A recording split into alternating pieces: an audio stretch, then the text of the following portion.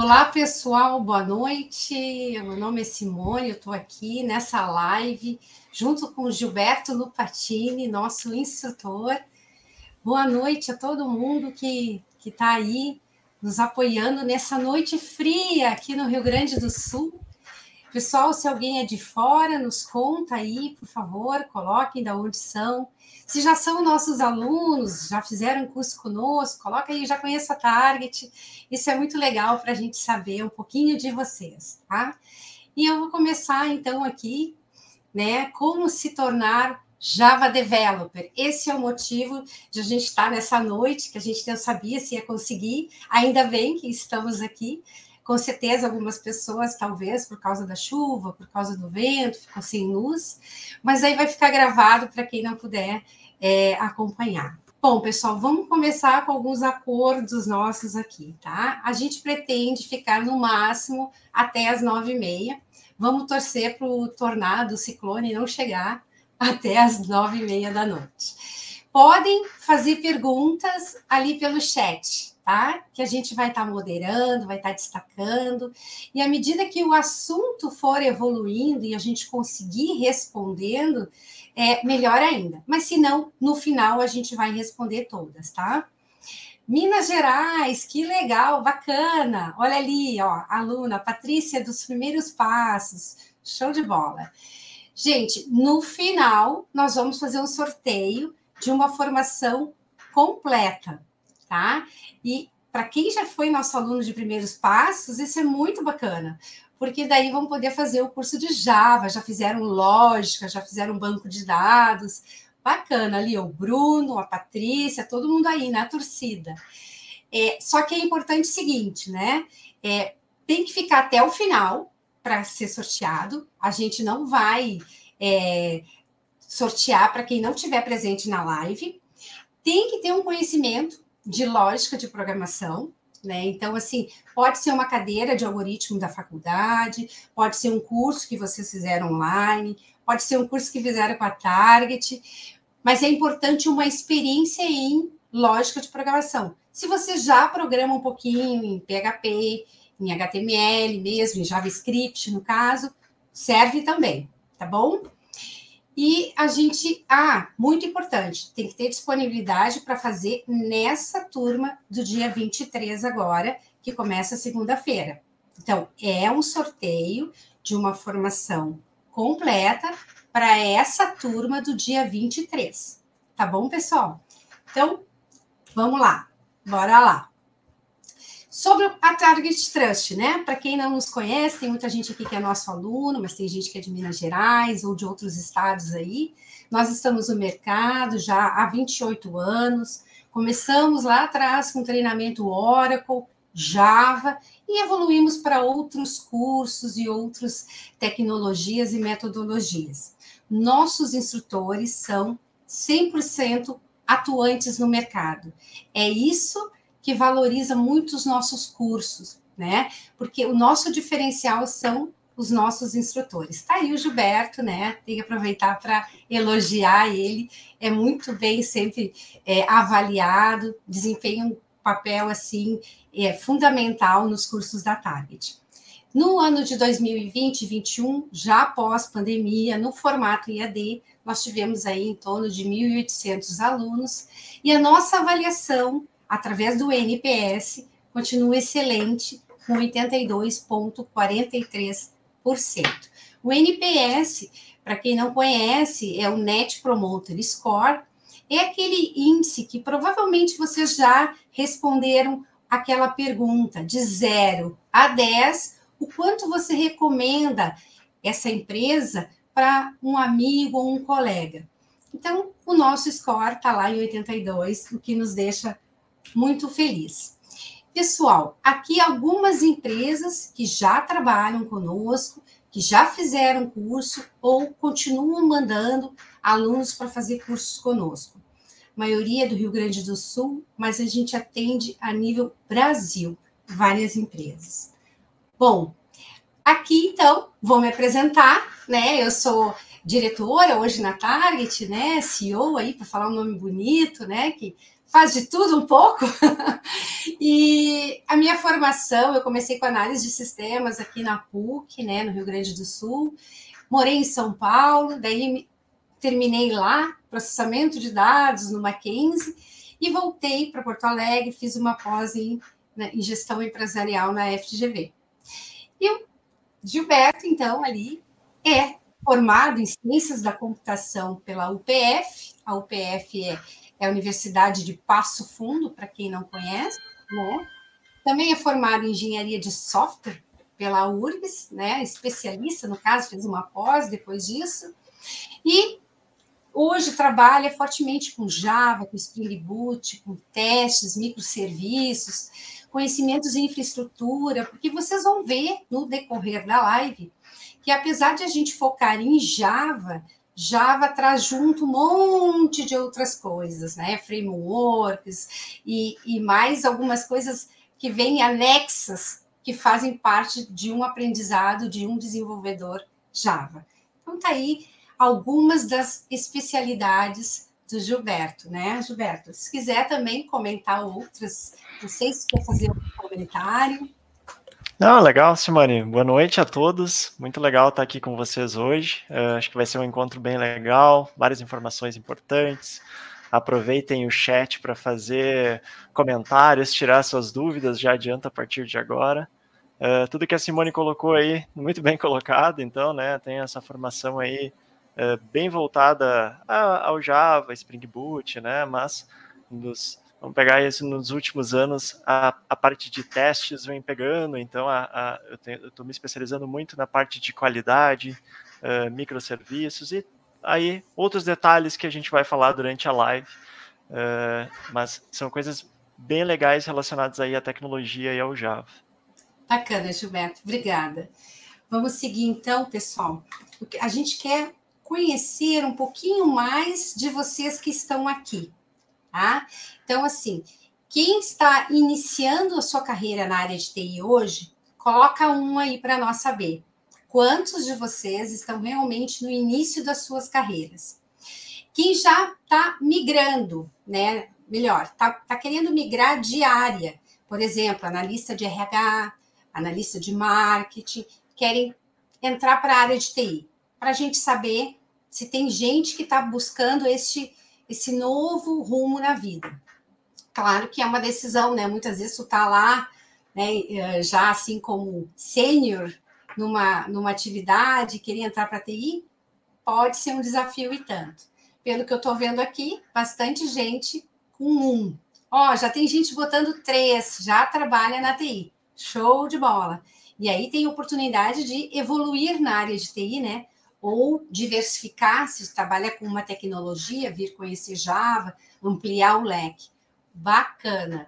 E quatro, não vi nenhum quatro ainda, se alguém tem curiosidade sobre o assunto. Apesar que pode ter gente com dois, com três, com um, que também tem curiosidade sobre Java, né? Então tá, gente, olha aí, ó. Bastante três, bastante Verdade. um também. Eu acho que mais foi três, né, Gilberto? Começa, pois é, começou com um ali, depois foi fazendo uma troca ali, né? Temos bastante, três, bastante aí que já trabalha na área. Legal. Depois, por curiosidade, coloca aí, ah, eu trabalho na área com .NET, com infra, com suporte. a gente gosta de, de, de ver também essa diversidade aí. Exatamente, até para saber se vocês já estão na área de desenvolvimento e querem evoluir numa, numa outra linguagem de programação, ou se vocês estão na área de TI em outra área e querem evoluir para programação. Bacana, aí ó, o Juliano falou que quer ir para desenvolvimento, é da infra. Isso é, a maioria das pessoas vem ou da área de testes, querem ir para desenvolvimento, ou da área de infra, de suporte, de atendimento e para desenvolvimento. Bastante isso. A Amanda quer evoluir para automação tá na lista de sistemas voltado para o negócio. Bacana, também é uma oportunidade de ir para a área de desenvolvimento. Inclusive, tem muitas, muitas empresas, né, é, diante da carência de profissionais de TI, que estão oportunizando o treinamento para funcionários que já conhecem o negócio e para TI. E é uma boa oportunidade também. Ó, tem gente que quer trabalhar com back-end, a gente vai entender mais para frente qual é a diferença de back-end e front-end. Fabrício, PLSQL e Apex, bacana, muito bom também, né? Tem é uma linguagem, o PLSQL, uma linguagem antiga da Oracle, que continua fortemente aí, e o Apex é uma evolução do que era o Oracle Forms e Reports, né? Olha, a Patrícia está iniciando o estágio em Java. Show, show, show. Bacana, pessoal. Obrigada pela participação de vocês, tá?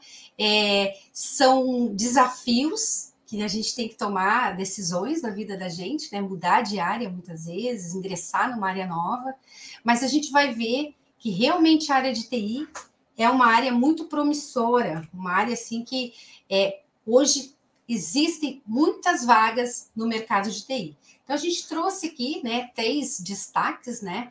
É, falando de Java, Java foi uma tecnologia que foi desenvolvida pela Sun e foi comprada pela Oracle, né? E avançou muito no decorrer desses anos. Vocês vão ver, inclusive, como o Gilberto, é, como Java evoluiu, né? E se tornou, desde que foi lançada, ela já foi assim um boom, né? Está em segundo lugar no Tech Mundo, mas isso varia um pouco. Se vocês forem lá no TI IOB, né, TIOB, lá está em segundo, em terceiro lugar. Então varia um pouco, mas ela está sempre entre as cinco primeiras mais utilizadas. Junto com ela tem Python, tem C Sharp. Então, assim, é sempre andando por aí as linguagens do JavaScript, que cresciam muito também. Então, assim, é uma linguagem que tem muitas oportunidades. As vagas de TI são muitas, em várias áreas, mas em Java tem muitas oportunidades também. E outra coisa importante também de, de mencionar é que as empresas cada vez mais estão contratando pessoas mais iniciantes, o que antes não era tão comum. Claro, eles continuam procurando sênior, eles continuam procurando plenos, eles têm projetos, querem já que a pessoa ponha a mão na massa, mas diante da escassez, eles estão também contratando júniores encostando os plenos, os sêniors, para que a curva de aprendizagem seja mais rápido, mas estão investindo também nesses profissionais. Certo, Gilberto? Acontece isso contigo no teu Perfeito. ambiente de trabalho? Não, exatamente. Esse, esse, esse, ponto da escassez é bem importante, né? A gente está num mercado internacional, então a gente está uh, exportando profissionais de TI. Os profissionais de TI são bem vistos, é uma percepção que eu tenho, é pessoal da conversa com meu grupo de amigos, assim, mas eu vejo muito essa percepção do profissional brasileiro, que é aquele que, que se dispõe a, a fazer, a enfrentar qualquer desafio. Então a gente está exportando, a gente está perdendo profissionais, a gente precisa repor. Então, acho que as empresas estão já, estão vendo isso há um tempo e estão investindo cada vez mais em trazer realmente na, na, digamos assim, na linha de base, né? Trazendo, formando a, a base para depois virar pleno sênior. Então, esse crescimento é, é, é, realmente relevante hoje. Show, é isso aí, gente. O Alessandro até fez um comentário. Eu estou meio perdido no que seguir, né? Estou fazendo ADS. Então, aproveitar e fazer um comentário, né? É, realmente é bem bom, é bem importante você está fazendo uma faculdade, todos vocês, né, que quiserem ingressar na TI através de estágio, é importante estar tá fazendo uma faculdade ou um curso técnico, porque isso aí facilita, algumas empresas exigem. Porém, a faculdade não prepara para o mercado ainda, né? Ainda tem essa demora, né? De que é, tu vai ver um pouquinho de banco de dados, um pouco de alguma tecnologia, um pouco de alguma linguagem, mas nada a fundo. E aí, para o mercado, tu precisa saber Java, ou tu precisa saber PHP, ou precisa saber .NET, ou Python. Então, tu vai precisar se especializar. Por isso que um curso, depois que tu já está na faculdade, te acrescentando informação e tu fazendo os projetos, participando dos exercícios, isso aí vai dar uma base para conseguir um emprego na área de tecnologia. E qual a direção? Quando a gente está dentro de uma faculdade, realmente vendo um pouquinho de todo, de, de, de back, de front, de banco, gera dúvida. Por isso que uma live como essas é bacana. Aqui tu vai conhecer o mundo Java, o mundo back-end. Daqui a pouco tu assiste uma outra live e tu vai conhecer front-end e vai ver outras oportunidades que tem na área de TI. Seguindo aqui, pessoal, então, aqui eu vou trazer agora um pouco para vocês e o Gilberto vai complementar. Se quiser ficar à vontade, me interrompa, tá, Gilberto? É algumas das competências comportamentais que são exigidas. Porque depois a gente vai seguir falando das competências técnicas, o que nós vamos ensinar para vocês na nossa formação, mas vocês precisam realmente, se não tiver essas competências, desenvolvê-las, tá? Ninguém nasce amando estudar, mas é uma coisa que a gente começa e aí a coisa vai evoluindo. Então, a primeira eu vou fazer no sentido horário, atualização constante. Pessoal, se vocês querem evoluir na área de TI, como desenvolvedor Java ou outra linguagem, back-end, front-end, como líder técnico, como Scrum Master, como o que vocês escolherem, porque tem muitas oportunidades, vai precisar estudar para sempre. Então pense nessa sempre com letras mais graúdas assim, né? Porque é uma coisa que tu vai ter que estar tá sempre se atualizando. Porque mesmo que tu esteja atualizadíssimo em Java, amanhã tem uma nova versão Amanhã tem uma nova feature, um, um novo framework, uma facilidade, e o mercado exige que se atualize constantemente. Então, e ao encontro disso já tem o um segundo tópico, que é ser inquieto, ser uma pessoa que está sempre vendo se tem uma maneira melhor de resolver aquela questão. Então, isso é uma coisa que eu tenho que dizer para vocês. Não adianta fazer o curso da Target ou qualquer faculdade, se tu não gostar de estudar e continuar se aperfeiçoando sempre. Precisa desenvolver isso. Tu estuda muito durante a tua vida, Gilberto? Ou tu fez lá, aprendeu Java lá atrás e parou de estudar? Como é que foi isso? Pois é, se eu não tivesse continuado, eu nem estaria no Java, né? Provavelmente eu estaria em outra linguagem. Eu comecei, não comecei com Java. Naquele momento eu até uh, vislumbrava assim, ah, um dia talvez Java, interessante, parece interessante, né? Acabei caindo nessa área e realmente uh, a inquietação e a busca constante pelo conhecimento faz parte da TI. Tu não pode parar em nenhuma linguagem, então não é coisa do Java isso, não é coisa do front. Uh, Para qualquer lugar que tu vá, todo dia, ou todo mês, todo ano, vai ter uma, uma atualização e, e, tu vai perder espaço no mercado se tu não for atrás, né? Se tu não for procurar esse conhecimento, se tu não for estudar, vai ter, acredite, vai ter um colega teu que está mais preparado, então pegando as oportunidades. Então é, é tem que realmente estar tá se atualizando constantemente. Exatamente. Obrigada pela contribuição, Gilberto. E as pessoas estão concordando aqui, e é verdade. Eu estou vendo ali um, um, aluno nosso, cliente, o Duca. O Duca já é também veterano em software, sabe que a gente está falando a verdade, né, Duca? Precisa estudar, se atualizar, tem que estar tá sempre pensando em algo novo, numa solução melhor. Bom, seguindo, né? Já um encontro disso, tem que estar sempre uma, ser uma pessoa flexível, uma pessoa que se adapta, né? Então, se adapta a um novo software, a um novo chefe, a uma nova equipe, a um novo projeto. Então, isso são mudanças constantes, né? E mais do que. É, não é que a gente está acostumado, mas a pandemia fez a gente mudar muita coisa, né, gente? Então, acho que a gente já está meio se acostumando a que a mudança é uma constante. E isso tem que também fazer parte do perfil das pessoas que trabalham na área de tecnologia, tá? Indo ali na sequência, colaboração, e já vou pegar junto o gancho do compartilhamento.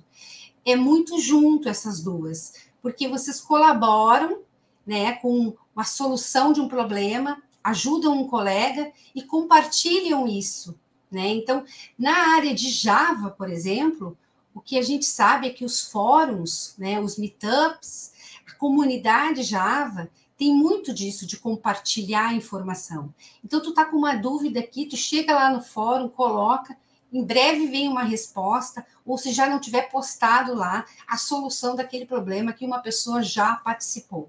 Então vocês vão começar a viver nesse ecossistema e entender que isso funciona de verdade. As pessoas compartilham conhecimento. E, e vocês vão, por exemplo, na Target, ter o, o pontapé inicial para começar a entender o mundo Java. Depois que vocês já estiverem dentro disso, fizerem o network, vocês vão saber os caminhos que podem ser seguidos para resolver os problemas de vocês. Então, isso é muito legal nessa, principalmente uma das maiores comunidades que tem é a comunidade de Java, onde se compartilha e se colabora muito. Seguindo aí, pessoal, boa escuta e comunicação. Nunca comunicação foi algo tão importante. E agora que estamos todos remoto, a maioria dos profissionais de TI trabalhando home office, a comunicação tem que ser mais clara, mais objetiva, mais assertiva, né? E mais humana também. A gente está muito separado, muito remoto, então tem que ter uma comunicação. Isso é uma competência que a gente tem que desenvolver, tanto para comunicar para os outros, quanto para ouvir, né?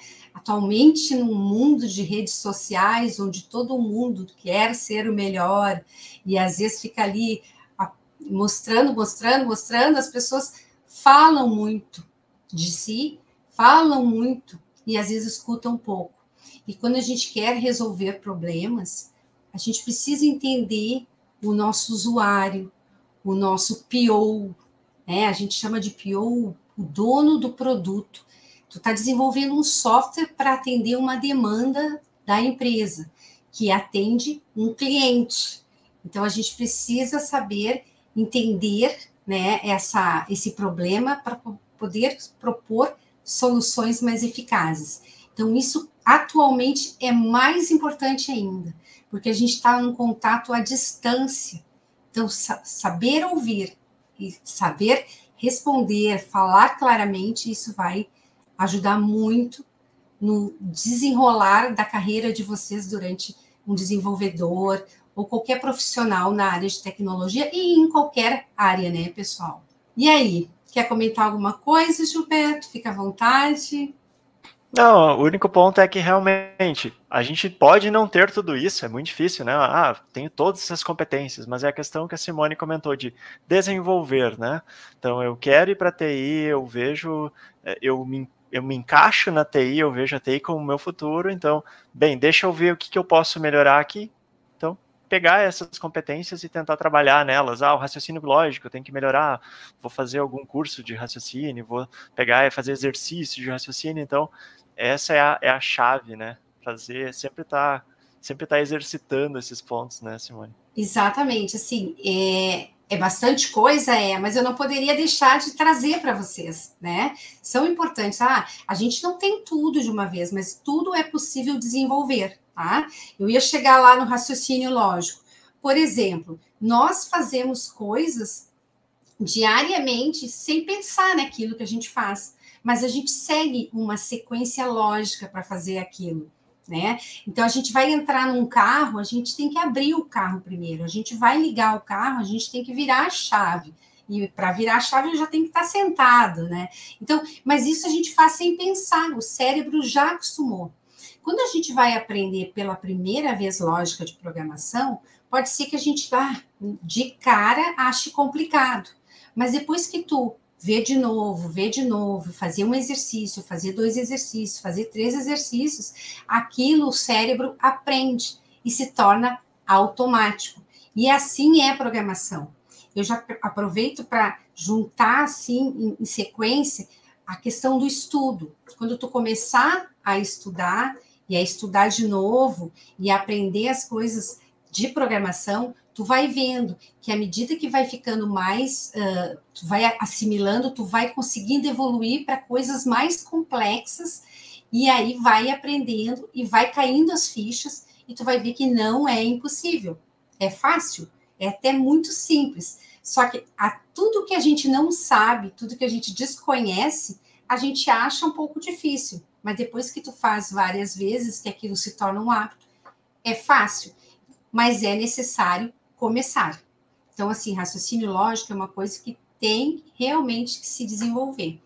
E a resiliência é aquilo, né? Nem sempre a gente consegue fazer o melhor programa, ter o melhor feedback, e a gente tem que estar aberto a isso, receber um feedback, a corrigir, a pensar diferente, a agir diferente, Porque na área de TI, por ser uma área muito colaborativa, de compartilhamento, de comunicação, também rola muito facilmente feedbacks. Se pede, né, os próprios profissionais pedem para os seus gestores, para os seus pares, ah, me dá um feedback aqui, me diz como é que eu estou, e as pessoas dão. Isso é importante para o crescimento. Então é isso, pessoal. Aqui é um resumo soft skills, competências mais comportamentais que vocês vão ter que se desenvolver. Somada a essas, né, eu diria assim, que tem que desenvolver que é uma competência técnica, antes ainda de entrar nas técnicas de Java, é vocês terem lá no horizonte, se não estão vendo isso agora, mas no futuro, inglês. Inglês é uma coisa que o mercado exige, que muitas vezes as vagas não são preenchidas porque as pessoas não têm inglês. Mas vocês não precisam saber inglês para programar. Vocês vão aprender inglês programando, mas depois vão ter que saber inglês para conseguir conversar com os players, com os pares, porque cada vez mais as empresas estão atendendo fora e estão compartilhando na equipe pessoas que falam outras línguas, principalmente inglês. Seguindo então, pessoal, alguém tem alguma dúvida? Eu estou vendo vários comentários entrando. Vocês vão colocando as dúvidas que depois então a gente responde, tá? Ali, Alessandro botou. Inglês é chave. Vamos falar das carreiras, tá? É um resumo aqui da hierarquia que tem no, nas funções aqui de Java, né? Assim como desenvolvedores, né? Tem outras áreas, mas falando especificamente de desenvolvedores Java, eles têm o júnior, né? Pleno e sênior. Isso acho que é, é normal, mas eu precisaria trazer aqui para vocês entenderem. O júnior é aquele iniciante, né? Que está estudando ou que recém se formou. Vai ter alguém que vai orientar, e que começa com um salário mais baixo. Pleno já é alguém que já tem aí no mínimo um ano, um ano e meio de experiência, e aí já segue um pouco mais sozinho, já tem um pouco mais de autonomia, né? Mas ainda conta com o apoio dos superiores e já ajuda os júniores. E o sênior, sim, o sênior é quem tem grande autonomia, quem toma as decisões dos projetos, quem muitas vezes pega um, um código escrito por um júnior para olhar se está bem escrito, se não tem algo a otimizar, uma query ali que está demorando muito para executar. Então, esse é o cara, esse é o sênior, tá? Tem um melhor salário, claro, mas também já suou bastante, né? Já vestiu a camisa, já virou umas noites aí, já escreveu uns códigos. E esse é um cara que tem aí quatro, cinco anos de experiência, se não mais, tá? Claro, pessoal, que tudo varia de empresa para empresa, né?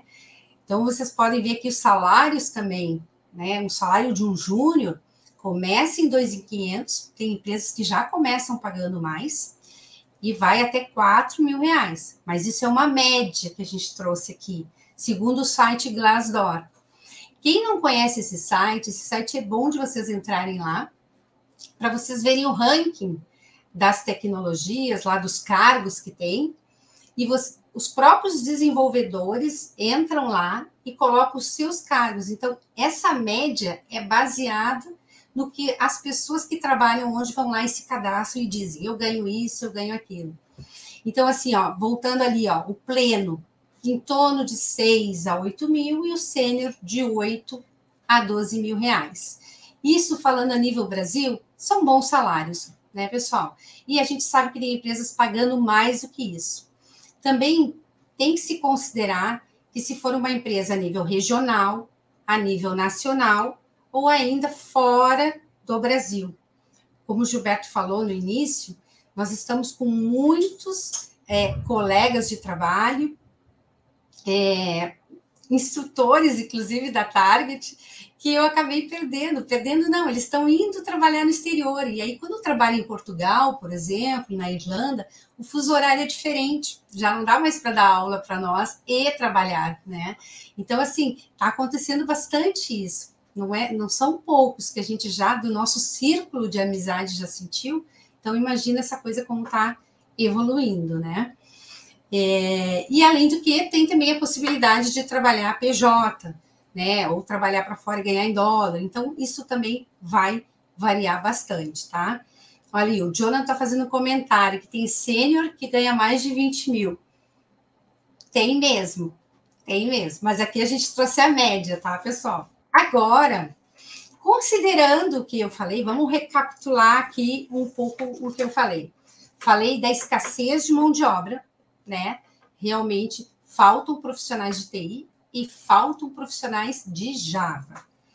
Falei que Java é uma tecnologia, uma das linguagens mais usadas, principalmente no mundo corporativo, e está em segundo lugar ali, segundo, terceiro lugar nas linguagens mais usadas.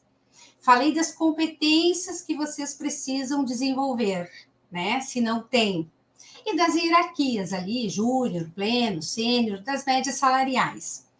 Considerando tudo isso, quais são as barreiras que vocês teriam medo, assim, as, os, os receios, bah, não sei se eu quero ir para Java, não sei se eu quero ir para TI, né? Será que é o número um? Coloquem aí para nós. Faltam vagas no mercado?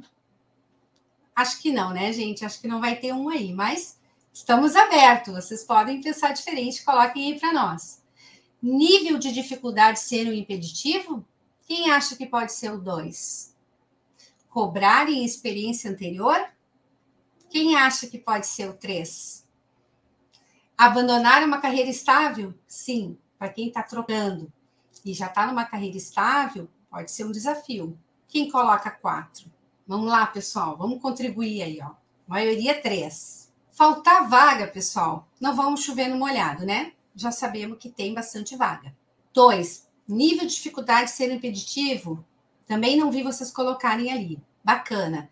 Se tiver esforço, estudo, não tem dificuldade. Não é um bicho de sete cabeças. Eu já fui programadora, eu já programei. Então, eu sei, não estou falando aqui porque, porque dou aula, não, porque que a gente tem curso. Mas eu já fui programadora, já fiz curso e já sei como é que é.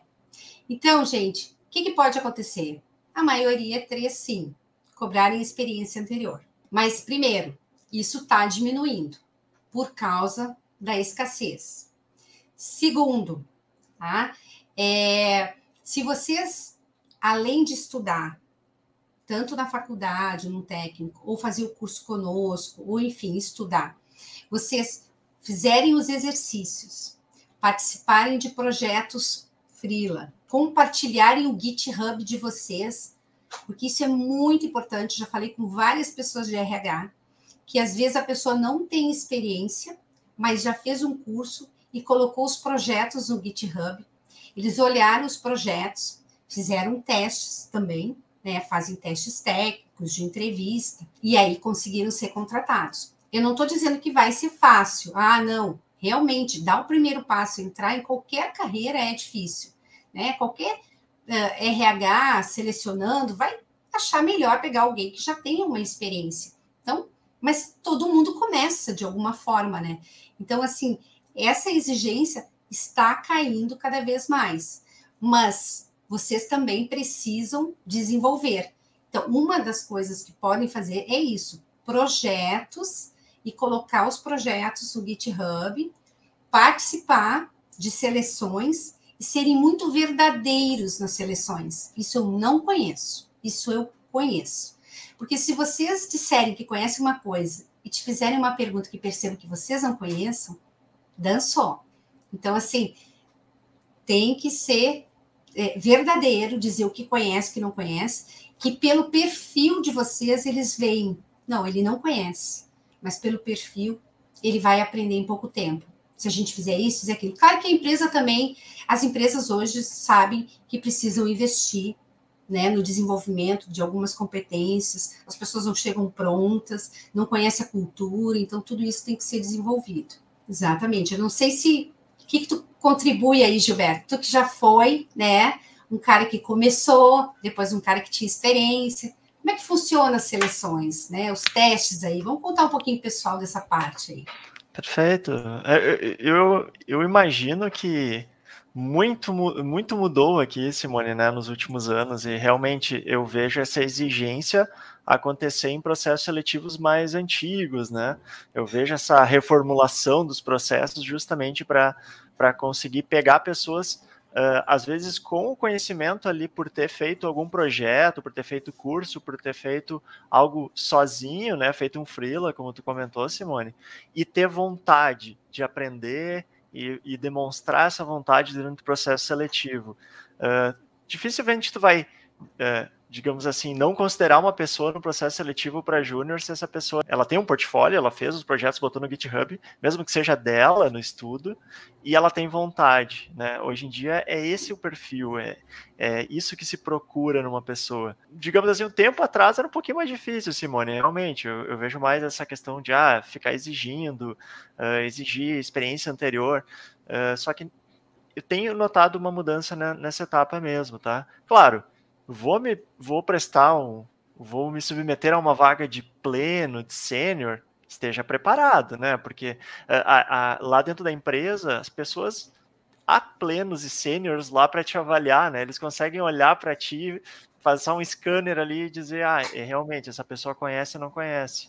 Mas para as vagas iniciais ali, realmente, a, a experiência anterior eu vejo que está caindo por terra, tá? Então, uh, submetam, como disse a Simone, pode ser que uma empresa tenha um processo um pouco mais rígido, mas uma hora tu vai encaixar, tu vai encaixar em algum dos processos que não esteja tão rígidos, que sejam mais atualizados, né, Simone? Bacana. E eu vi o pessoal comentando ali, né, que é, o meu GitHub está atualizado, meu LinkedIn também. Boa, Poliana. Realmente, pessoal, LinkedIn, quem não tem, sai correndo fazer. Faz uma foto profissional, nada de regata na praia, tá? Coloca a sua formação, onde está estudando, os projetos, o portfólio ali, ó. Portfólio é indispensável, o Alessandro falou. Isso mesmo. São tudo dicas que a gente dá para que vocês possam evoluir nessa área.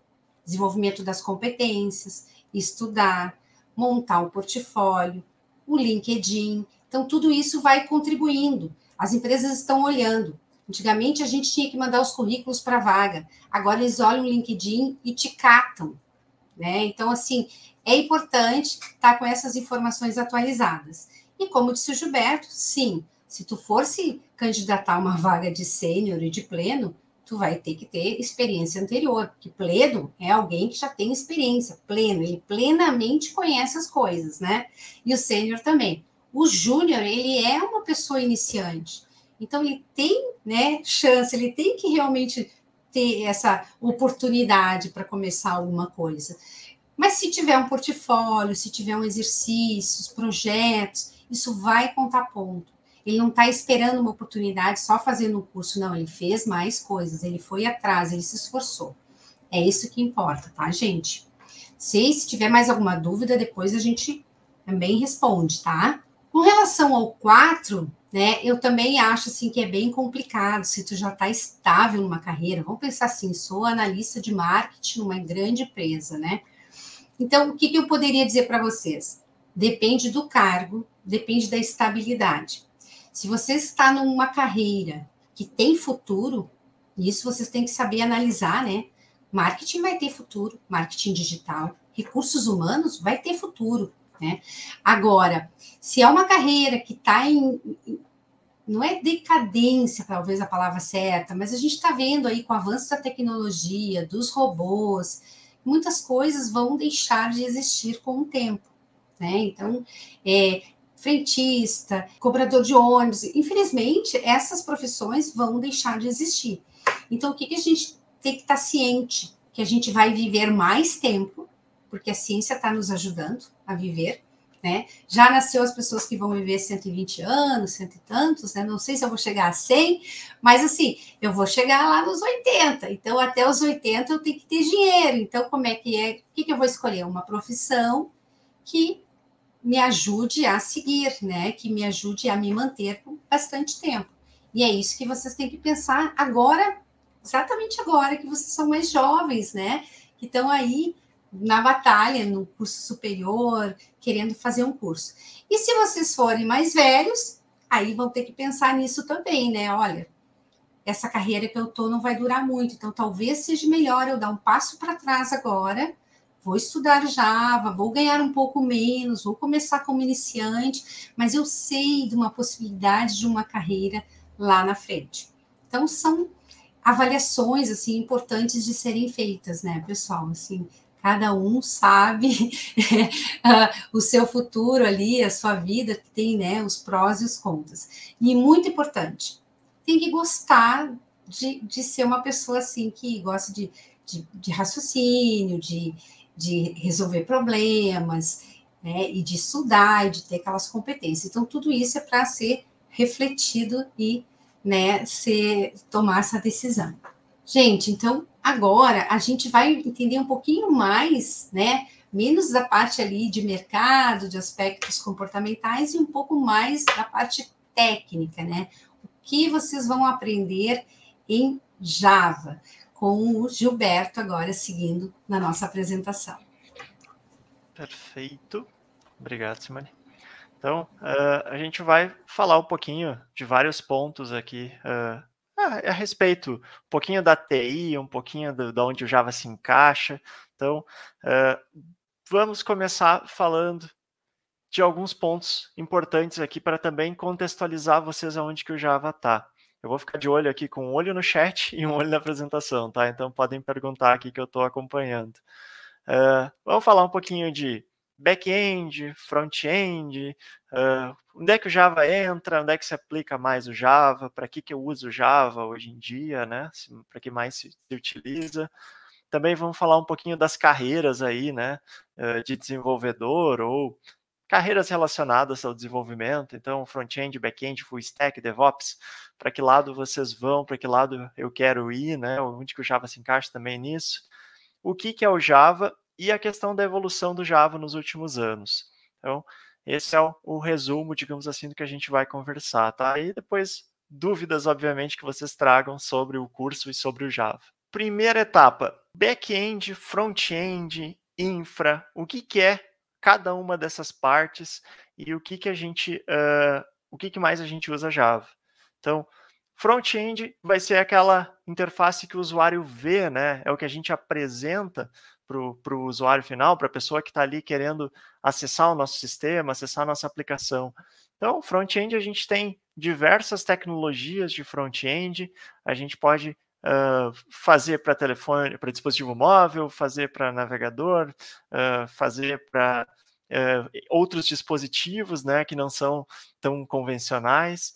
Então, normalmente a gente tem o código web, né, o código mais criado hoje em dia, né, o código web, navegador e dispositivos móveis, que é aquele código que realmente a gente vê.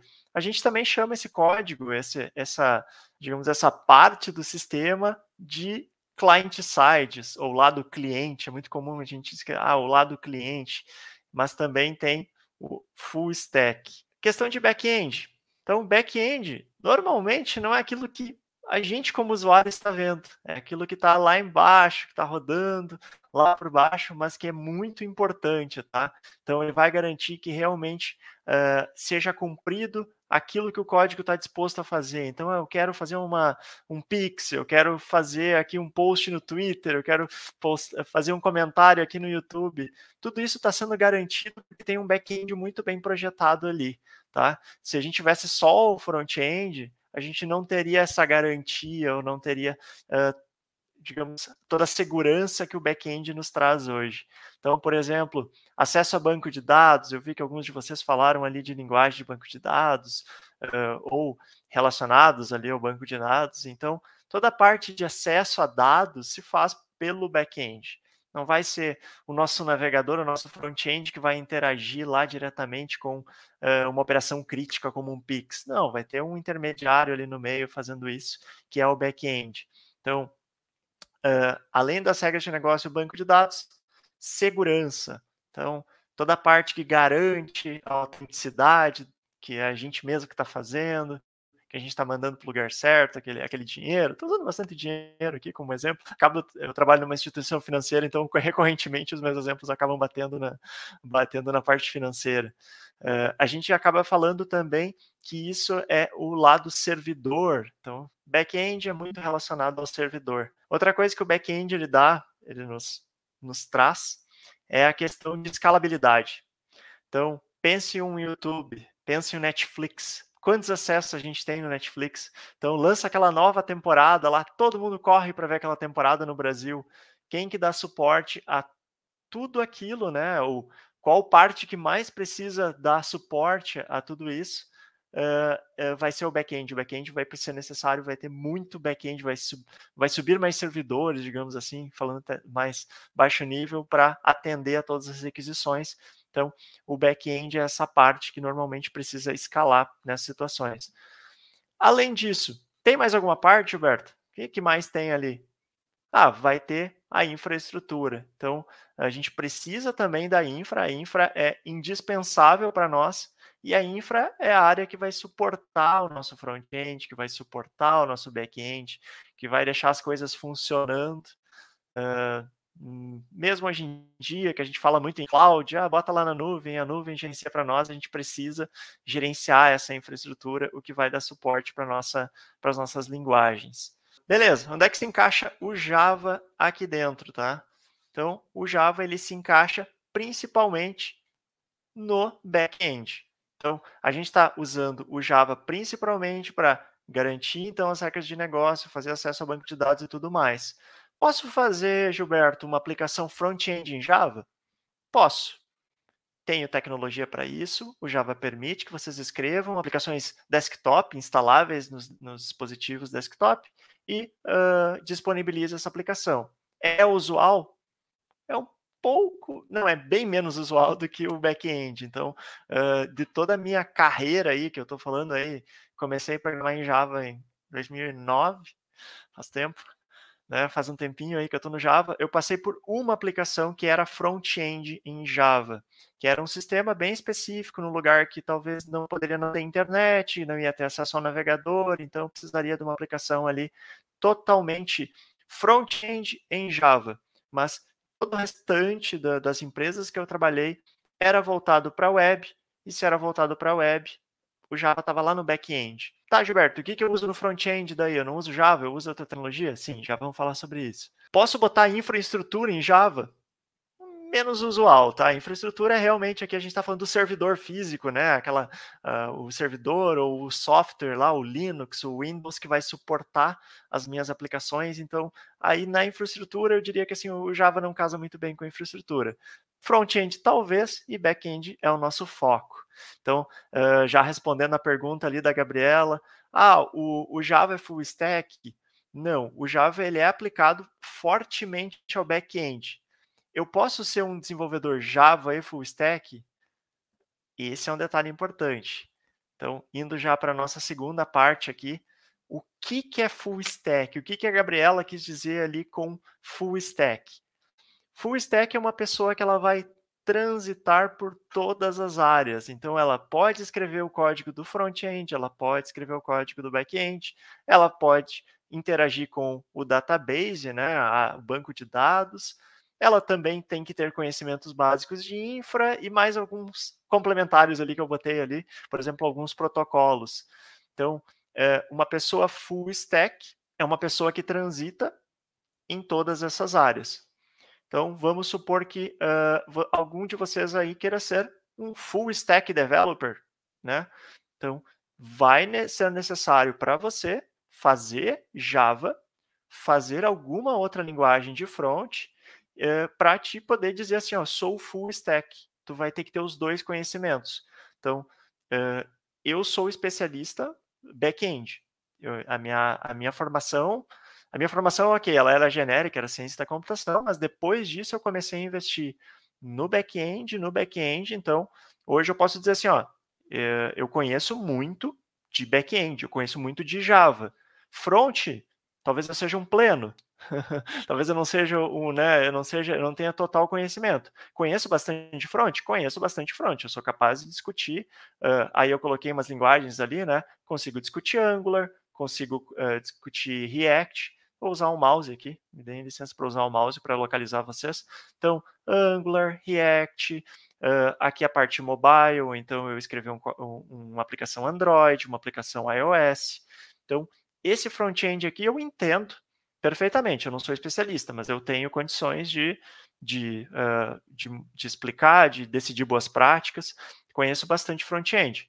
Agora, back-end, aí é entra o nosso querido Java, entra o Spring, que também é, a gente vai entrar em detalhes depois, mas ele é parte da formação. Entra o Jakarta, PHP, Python, Kotlin. Então, tudo isso aqui é, eu posso já usar para escrever um back-end. Então, vamos supor assim, eu vou escrever uma aplicação sozinho. Eu, Gilberto, vou escrever minha própria aplicação, vou disponibilizar, na, por exemplo, na, na Play Store ou, na, uh, ou, ou na, na, no Play ali da, da, da, Apple. Fugiu o nome. Então, ah, vou disponibilizar lá na Play Store. Eu, eu, vou, eu vou conseguir fazer só back-end? Não, tu vai ter que fazer o teu back-end, o teu front-end, criar teu banco de dados, subir tua infraestrutura, conhecer algum protocolo de comunicação. Então eu vou ser, né, para fazer esse projeto, um full stack developer. Uh, tem um detalhe importante aqui também que eu, que eu não falei no anterior, mas entra muito bem aqui. Então quer dizer que eu preciso aprender, uh, por exemplo, JavaScript para fazer um front-end. Eu não posso fazer em Java. Tá, tu pode fazer todo ele em Java. O Java também é capaz de escrever código HTML. Eu consigo uh, usar alguma, a gente chega fazendo curso até, usar alguma tecnologia no Java que gera um site, que gera o HTML que vai para o navegador. Então, uh, é possível também tu trabalhar todo com Java, mas aí vai ser Java backend e o Java gerando front-end também. Então é, é, curioso como tu pode usar o Java nas duas pontas. Pô, Gilberto, gostei desse front-end, o que, que eu tenho que fazer? Então, quero aprender front-end, eu tenho que fazer, eu tenho que conhecer HTML, eu tenho que conhecer CSS, JavaScript, frameworks, então frameworks como Bootstrap, uh, jQuery, React, o Angular, dezenas de frameworks JavaScript que a gente tem, né, e bibliotecas JavaScript que a gente pode aprender para ser um desenvolvedor front-end. Agora, vou lá para o back-end, o que, que eu tenho que aprender? Aí tu escolhe uma linguagem, vocês estão aqui porque vocês têm interesse no Java ou no ecossistema Java, que acaba sendo maior um pouquinho que o Java, uh, ou Spring, ou Jakarta, ou PHP, ou Python, ou Kotlin. Então, qualquer uma dessas linguagens pode ser usada para escrever um back-end. Como vocês já escreveram no chat que eu estava acompanhando, ambiente corporativo, Java fala muito, muito alto, tá? Então a gente pega as, as, maiores empresas que a gente tem no Brasil, né? Tu vai olhar, tu vai ter grandes sistemas em Java, porque o Java ele é uma linguagem que uh, foi muito ela foi muito bem vendida para empresas que tinham criticidade dos negócios, que precisavam de robustez, precisavam de sistemas grandes, uh, escaláveis. Então, o Java está sempre enraizado nas grandes empresas, né? Uh, então, ele tem uma presença bem forte, digamos assim, uh, no back-end. E database? O que, que é database? Eu posso ser um database developer? Bem, aí a gente chama de DBA, né, Simone? A gente tem informação, inclusive, na Target. Então, eu posso ser alguém voltado especificamente para database, nesse amarelinho que está aí, né? Então, eu me especializo em MySQL, me especializo em Mongo, me especializo em Postgre. Normalmente, é, são essas uh, mais conhecidas como Oracle, né, que é especialistas Oracle, tu vai achar bastante. Especialistas Mongo já é mais difícil de encontrar, é, é algo que é um pouco mais específico, mas então eu posso me especializar em database ou, né, ser um generalista ali, ser full stack. Infra, mesma coisa, né? Então, uh, na infraestrutura tem banco, tem Kafka, JMS, uh, Apache tem, tem mais de um servidor, tem, tem vários servidores da Apache, na verdade. A própria in, a cloud, né? Eu colocar o código meu na cloud, tem bastante coisa também. Então, essa é a parte de infra. E aí, como é que se chama aquele profissional que é especialista em infra hoje em dia? Pode ser um profissional de infra, né? Eu trabalho na infra, mas vocês vão ouvir também o termo DevOps. Então, ah, eu posso ser DevOps se eu virar especialista aqui na infraestrutura, né? O termo ágil que a gente usa hoje em dia é o DevOps. Uh, e aí o Other aqui, gente, é todo o restante que vocês têm que saber. Você vai ser um front-end developer, tu tem que saber REST, ou GraphQL, ou Protobuffer tu quer ser back-end developer, tu tem que saber REST, GraphQL, é, são coisas que tu precisa independente da formação que tu vai que tu vai andar. Até para o pessoal de infra, como é que eu vou integrar, entregar uma infra sendo um DevOps se eu não tenho conhecimento sobre os protocolos que todos os devs vão utilizar, né? Então é, é bem importante também vocês saberem a questão uh, a questão da, dos, desses outros complementos. Estou olhando os comentários aí, DevOps, Poliana respondeu, legal.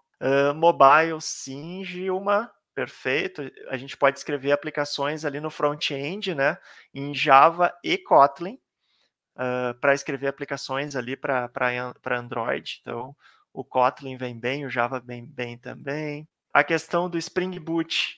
Spring Boot, depois eu entro mais em detalhes, mas o Spring Boot, ele é bem voltado a back-end, tá? Então, ele não é ele não vai ser um substituto de front-end aqui, ele é só uma das partes ali que a gente pode utilizar no Java, mas eu já entro em detalhes. Beleza, gente? Ó, ficou com dúvida nesse ponto aqui da, da, da questão das carreiras, né, de desenvolvedor? Posta aqui no chat que depois eu respondo. Simone, alguma dúvida aí? Não é dúvida, é um comentário, né? Já é assim, tu é especialista em back-end, né? Java. E tu já sabe muita coisa, já é bastante coisa. Então, imagina a pessoa querer ser um full stack developer, o que eu acho bacana, né? Mas exige bastante experiência, bastante tempo de aprendizado, né? Porque a pessoa tem que dar um pulinho lá no front, entender o back, entender um pouco de banco e conhecer também ali a infraestrutura, né? O que a gente vê falar quando é, quando é full stack, assim, um, um profissional, é, que eu aprendi, né? E daí eu queria trocar uma ideia contigo, Gilberto. É às vezes um, uma pessoa que vai trabalhar com Express, né? Que é o Mongo, daí vai ter um, um, um JavaScript na frente, um Node atrás, e aí ele é um já um, um full stack, mas de uma aplicação pequena, né? De uma de uma empresa pequena ainda, de uma startup. Isso começou com elas, se eu não me engano, né? Porque ser um full stack de uma empresa tão grande, por exemplo, como o Cicred, daí já é mais difícil. Tô certa? É por aí que eu devo pensar? Perfeito. Simone, é, é até, essa é uma das questões assim que a gente discute no, no dia a dia e não é tão não é tão binário, não é tão A ou B, tá?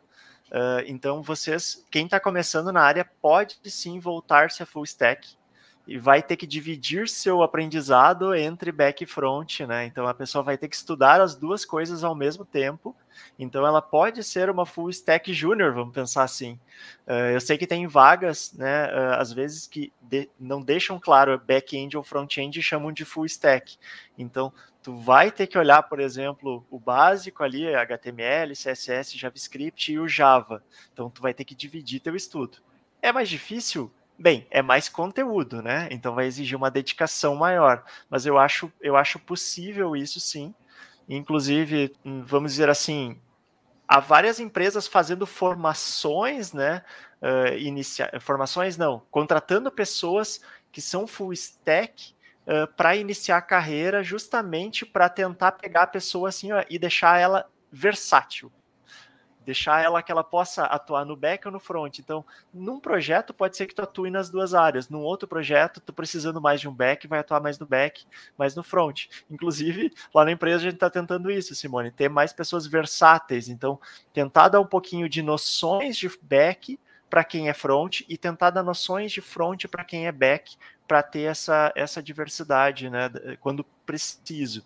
Mas, de fato, tu vai ter que estudar tudo, tá? Então, tem que estudar o Java e tem que estudar o front-end se tu quiser ser full stack. Bacana, mais flexibilidade, mais adaptabilidade, mais resiliência. O cara entrou sabendo React, tudo de front. Ah, vamos aprender um pouquinho mais agora de Java, né? E Isso assim vice-versa.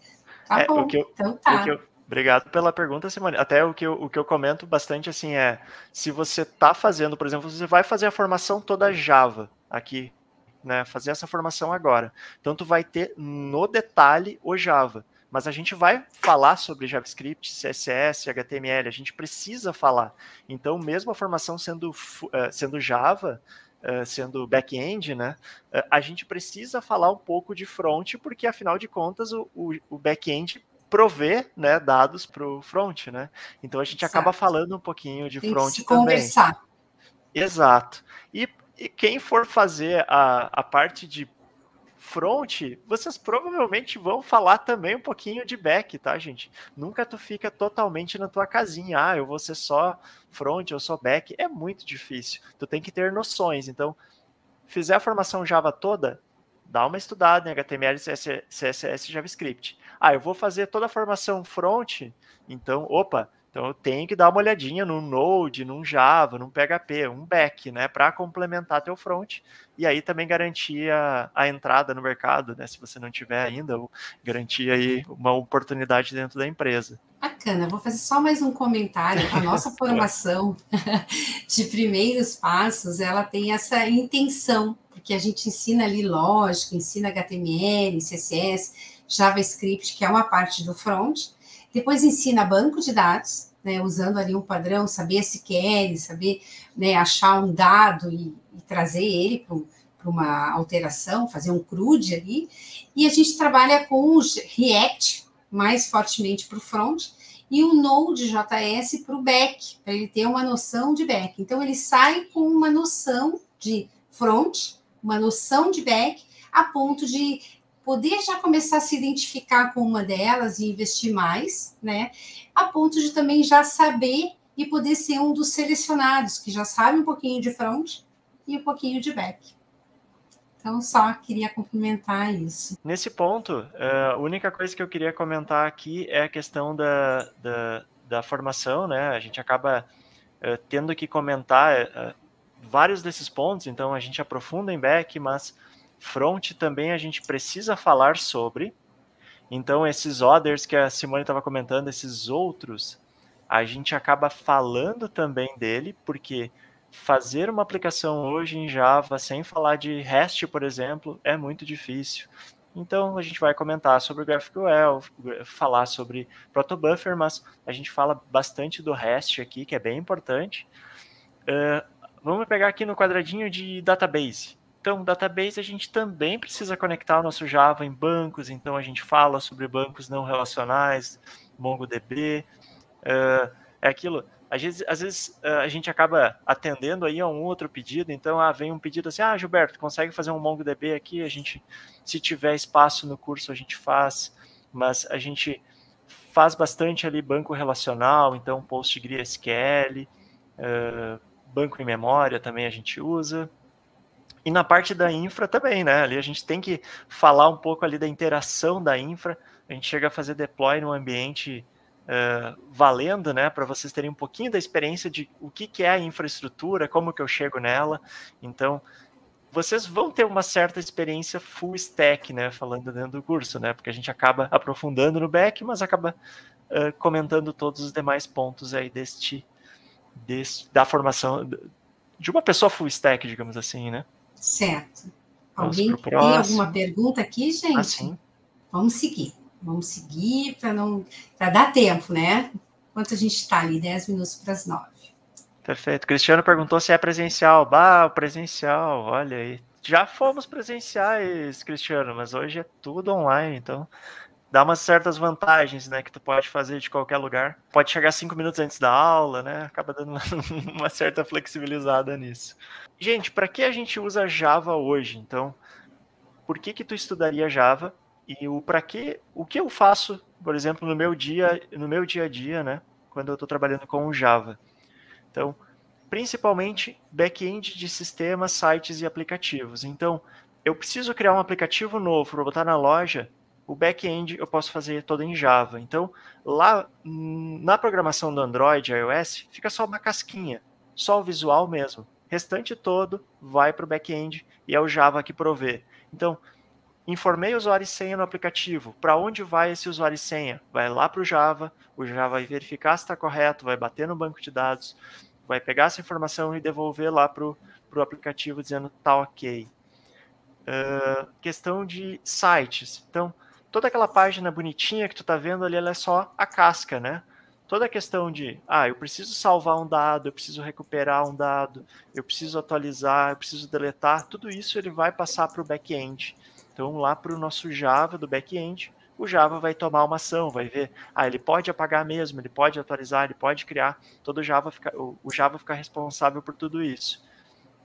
Uh, então, tanto na questão de sistemas, né, falando de sistemas aqui corporativos, quanto sites, né, tu pode fazer o back-end em Java, quanto aplicativos. que mais? Além de back-end lá, as famosas APIs, né, esse back-end de sistemas são as famosas APIs, APIs. Para que, que eu posso usar o Java? Processamento de massa de dados. Pô, Gilberto, mas não é Python que a gente usa para processamento? Aí pode ter, pode surgir essa dúvida, né? É, na verdade, gente, é, em ambientes corporativos onde os times conhecem Java, tu tem um monte de times lá, tá todo mundo preparado para fazer Java, é, é muito mais prático tu pegar e criar as rotinas de processamento em Java. Então a gente tem muita rotina por todas as empresas que eu passei, a gente sempre tinha rotinas em Java.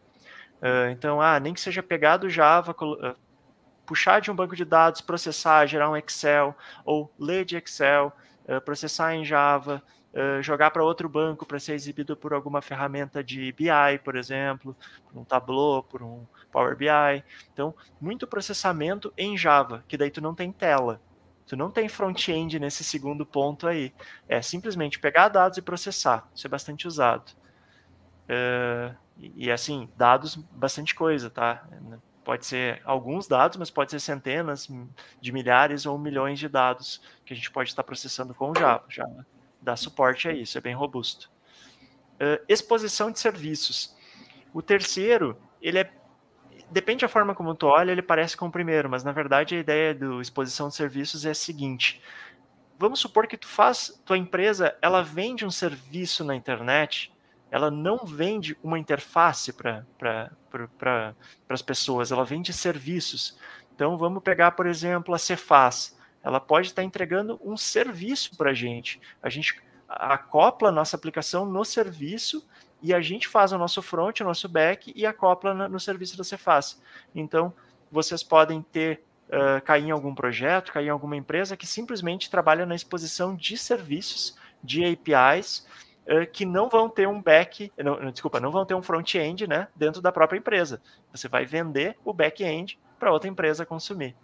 Então, isso também é bastante usado e muito mais, né? Então aquilo já apareceu o mobile aqui, tu pode escrever teu código Java lá, tu pode fazer scripts em Java. Então uh, aqui o e muito mais aqui é para não entrar em detalhes, mas tu vai encontrar Java em diversos lugares, até por exemplo em dispositivos embarcados. Então posso ter um, um dispositivo que eu escrevo um código em Java para ele lá, daí escrevo back, front, tudo junto, lá embarco nesse dispositivo e coloco lá na rodoviária, lá num painel, ou coloco numa catraca, né? Então, uh, tu pode utilizar Java também em sistemas embarcados. E aí, alguém já viu Java em algum outro lugar inusitado aí? Coloca nos comentários. Ou alguém tem alguma dúvida sobre isso também? Pode colocar nos comentários.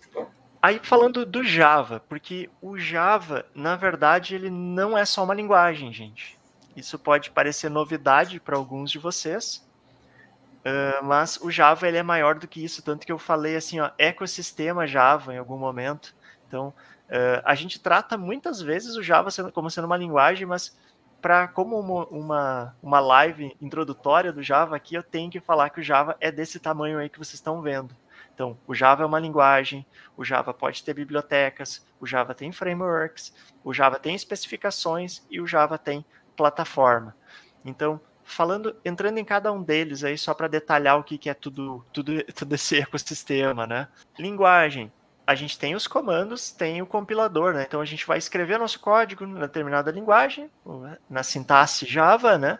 Isso vai passar por um compilador. A gente vai ter ferramentas ali que nos auxiliam a fazer depuração, a saber qual método a gente quer usar. Então a gente pode usar uma IDE, como um Eclipse, um IntelliJ. Isso vai te ajudar a escrever um código, vai te ajudar a escrever um código melhor também, eu vou te dizer. Uh, essas ferramentas, então, uh, produzem um executável, né? Produzem um programa. Então, o primeiro ali é bem voltado ao dia a dia que a gente está acostumado com as linguagens de programação. É o mínimo necessário para a gente chamar algo de uma linguagem de programação, na verdade. Mas o que, que a gente mais tem? A gente tem bibliotecas. Então, a gente pode pegar esse código que a gente acabou de fazer, empacotar e distribuir ele como biblioteca. Então, uh, além de empacotar e distribuir, a gente também pode uh, pegar e usar as dezenas, milhares, milhões de bibliotecas que tem disponíveis no, uh, no ecossistema, né? Que a gente entra também bastante nisso no curso. Uh, usar essas bibliotecas. Então, por que, que eu vou escrever algo do zero, 100% do zero, por exemplo, uma conexão com o banco de dados, se eu já tenho uma biblioteca para isso? Então, a ideia é usar bibliotecas para uh, otimizar o nosso trabalho, digamos assim. Tá, que mais que a gente tem? A gente tem framework, frameworks, né? Então, da mesma maneira, um monte de frameworks. Eu acho que eu consigo ligar a câmera agora, porque voltou minha luz. então, a gente tem um monte de frameworks uh, que a gente pode utilizar. Então, uh, tem frameworks open source de alta qualidade que a gente pode utilizar com segurança, uh, que também nos ajudam a desenvolver códigos mais rápido e melhor, tá? Porque escrever tudo é também te leva tempo e também não vai dar uma garantia de um código tão bom, porque tu tem que escrever tudo, é muita responsabilidade. Então, usar frameworks e bibliotecas te ajudam, tá? Questão de especificações. O Java, ele acaba sendo uh, guiado, conduzido por, uma, por um comitê, a um comitê central, uma união de várias empresas que definem o rumo do Java. E o rumo do Java não é ditado simplesmente por uma empresa dizer assim, ó, bah, eu quero botar essa funcionalidade no Java e esquecer de todo mundo que usa o Java. Então, as especificações aqui são documentos criados nesse comitê, são revisados, aprovados e aí sim implementados. Então, uh, pessoas notórias, por exemplo, no desenvolvimento Java, podem ir lá propor mudanças dentro do core do Java. Não precisa ser uma empresa que paga lá dentro. Pode ser uma pessoa notória no Java, vai lá e propõe um documento dizendo assim, ó, eu acho que esse método aqui não está legal. Vamos criar um outro método melhor. Vou manter funcionando o anterior, mas eu vou criar um método melhor, mais legível. Se submete essa documentação lá para para JCP, que é o nome desse comitê, Java Community Process, e o Java Community Process vai analisar, tem revisores em todo mundo, né, que vão dizer assim, ó, legal, isso pode evoluir ou não. Isso é muito legal, uh, porque eu não sei se vocês chegaram, se vocês conheciam o Java quando o Java foi comprado das, uh, pela, pela Oracle da Sun, mas teve um burburinho no mundo Java, todo mundo, eu já estava no Java, teve um burburinho porque todo mundo dizia assim, ó, o Java vai ser comprado pela, pela Oracle, o Java vai virar pago, todo mundo vai parar de usar Java.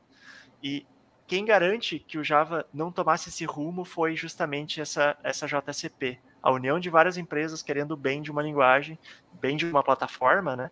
Então, uh, a, a, a, embora a Oracle seja dona de alguns direitos, né? Uh, tu pode usar alternativas totalmente open source em Java. Então, tu pode escrever Java open source, não escrever Java proprietário, se tu quiser, mesmo sendo de propriedade da Oracle. que mais? Plataforma.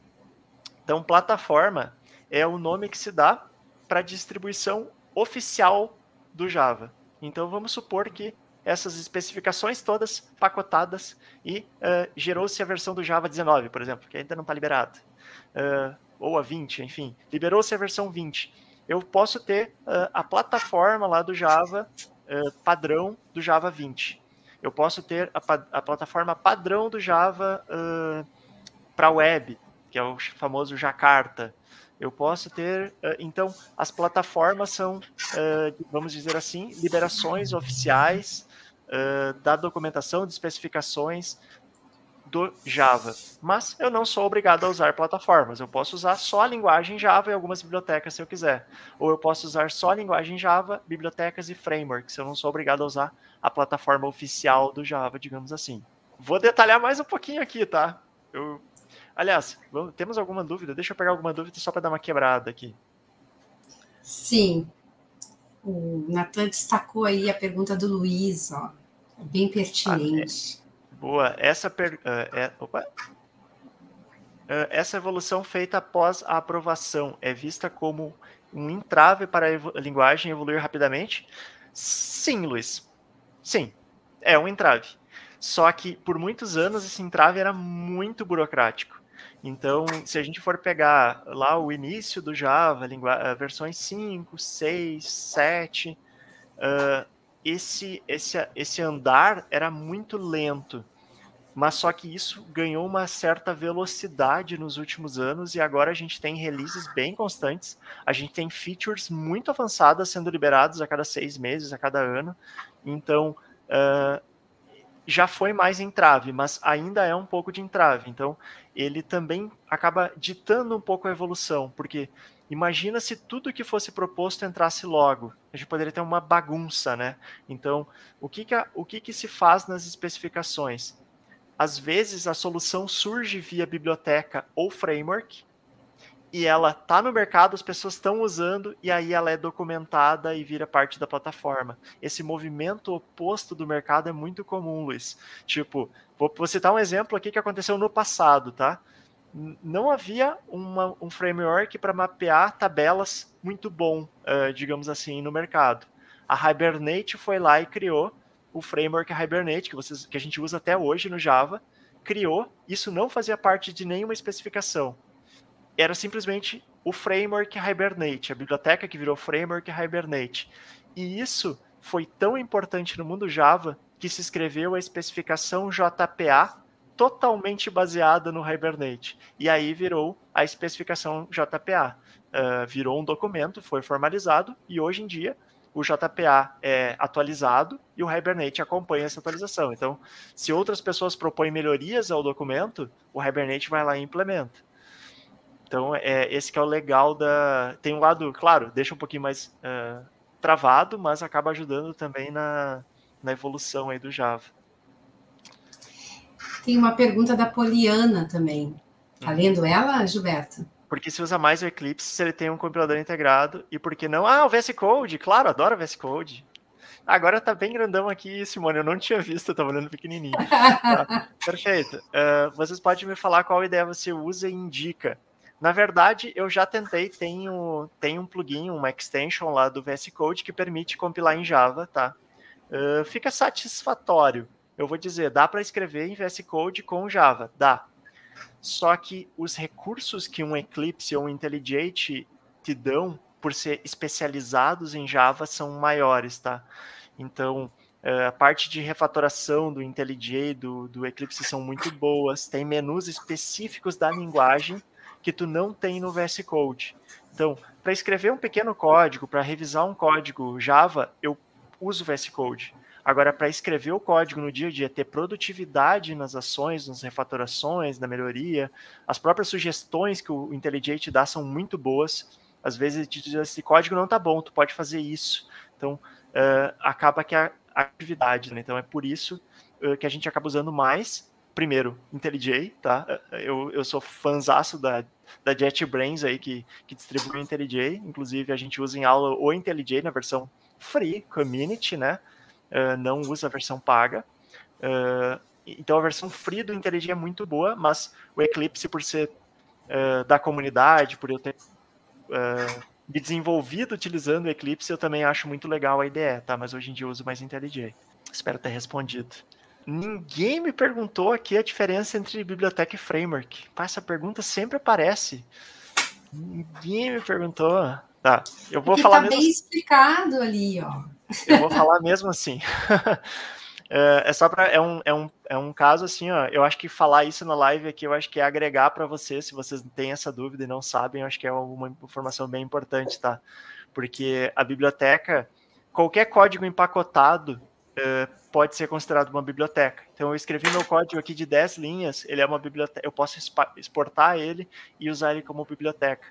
Agora framework é algo que realmente acopla, se acopla na minha aplicação. É algo muito mais invasivo.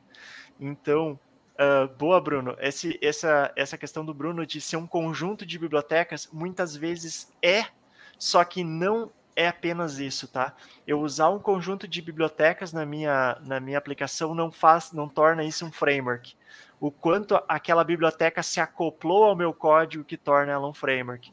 Então eu citei antes o Hibernate. Por que, que o Hibernate é um framework e não uma biblioteca? Sendo que o, o, o Hibernate em si é um jar só, ele é um arquivo só porque se eu colocar na minha aplicação, eu tenho que fazer uso de vários códigos do Hibernate dentro dela, tornando mais difícil tirar essa, essa, esse framework depois. Então eu estou realmente casando meu código com aquele framework. Então o Spring também, ele é um framework, o Spring não é uma biblioteca. Tem um monte de, de bibliotecas dentro do Spring, mas ele casa com a minha aplicação. Então tu arrancar o Spring fora de uma aplicação que é Spring é muito difícil. Agora, se eu botar uma pequena biblioteca lá para converter, por exemplo, tipos de arquivo, ela é pontual. Ela não. É, eu, se eu quiser parar de converter aquele tipo de arquivo, eu tiro a biblioteca e o resto sai funcionando. Então é, é mais esse tipo de acoplamento. Então, quando vocês entram no site de uma biblioteca, o framework ele se autodenomina. Ah, eu sou um framework, eu sou uma biblioteca, justamente porque eles sabem o como tu vai usar aquele framework com aquela biblioteca.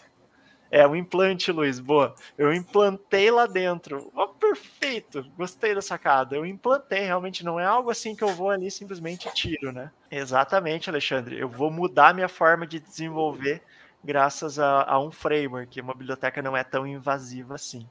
Ótimo, perfeito, vocês estão muito bem. O pessoal está participando, bacana, né? Muito legal. A Poliana fez uma pergunta lá atrás que que eu não sei se a gente sabe responder, né? É, se a maioria dos bancos usam Java. É... E aí, tu sabe responder isso, Gilberto? É, é difícil mesmo responder, muito difícil responder, tá? Uh...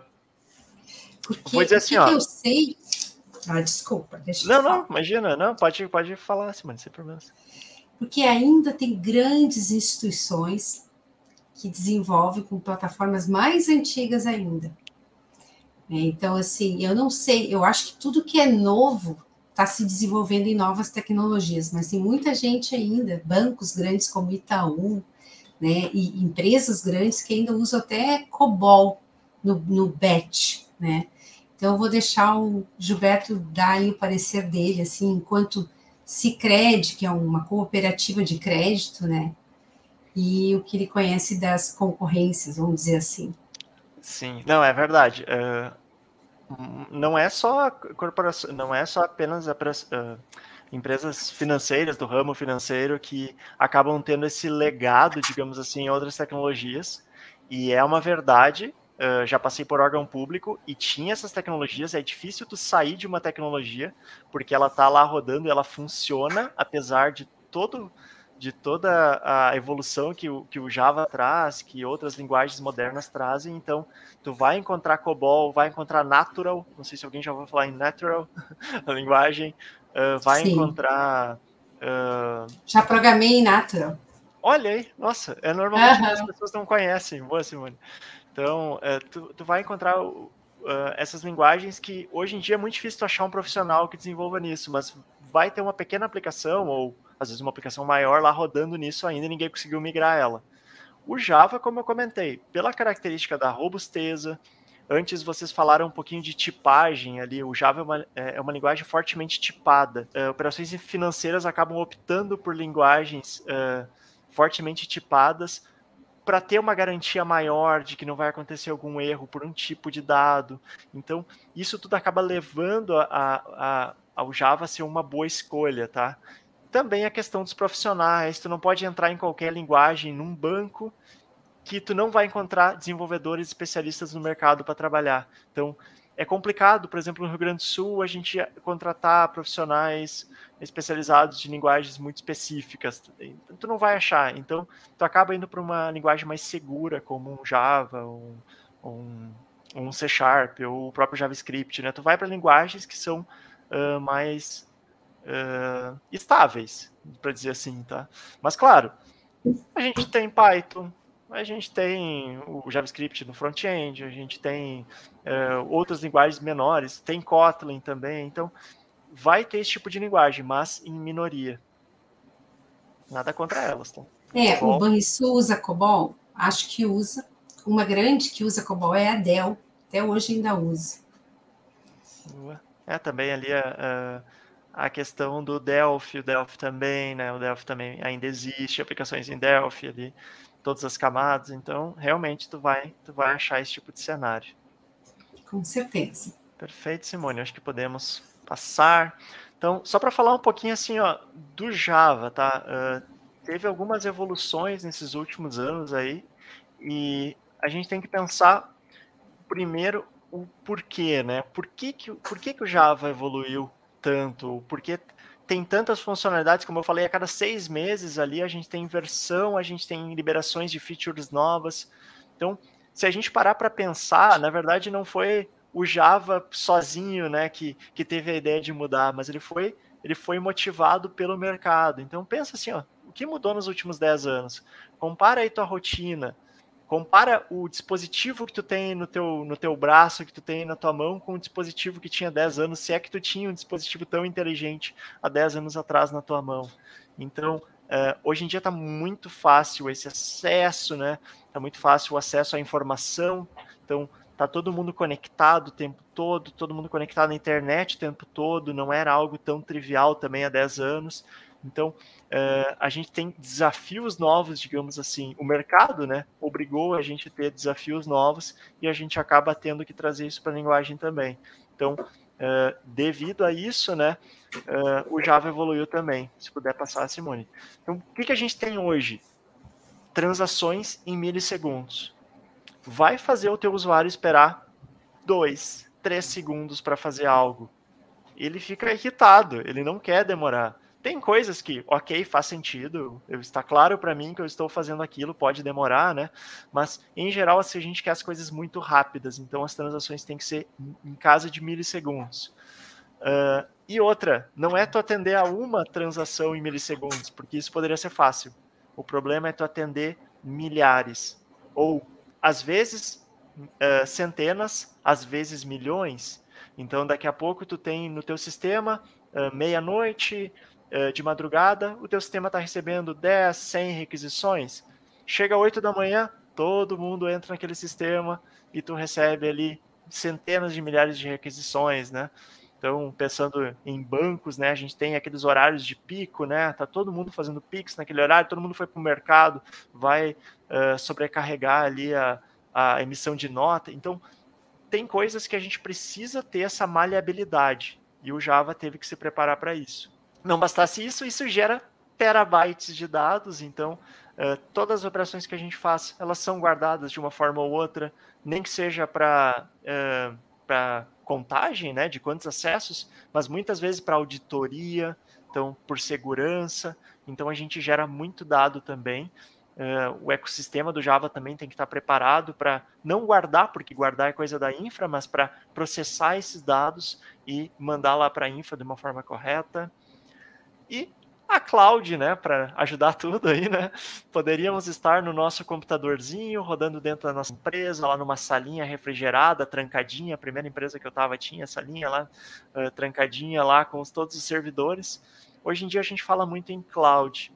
Então, mesmo que a empresa tenha um hardware próprio, tu tem que saber também colocar a tua aplicação lá na nuvem. E aí muda tudo, gente.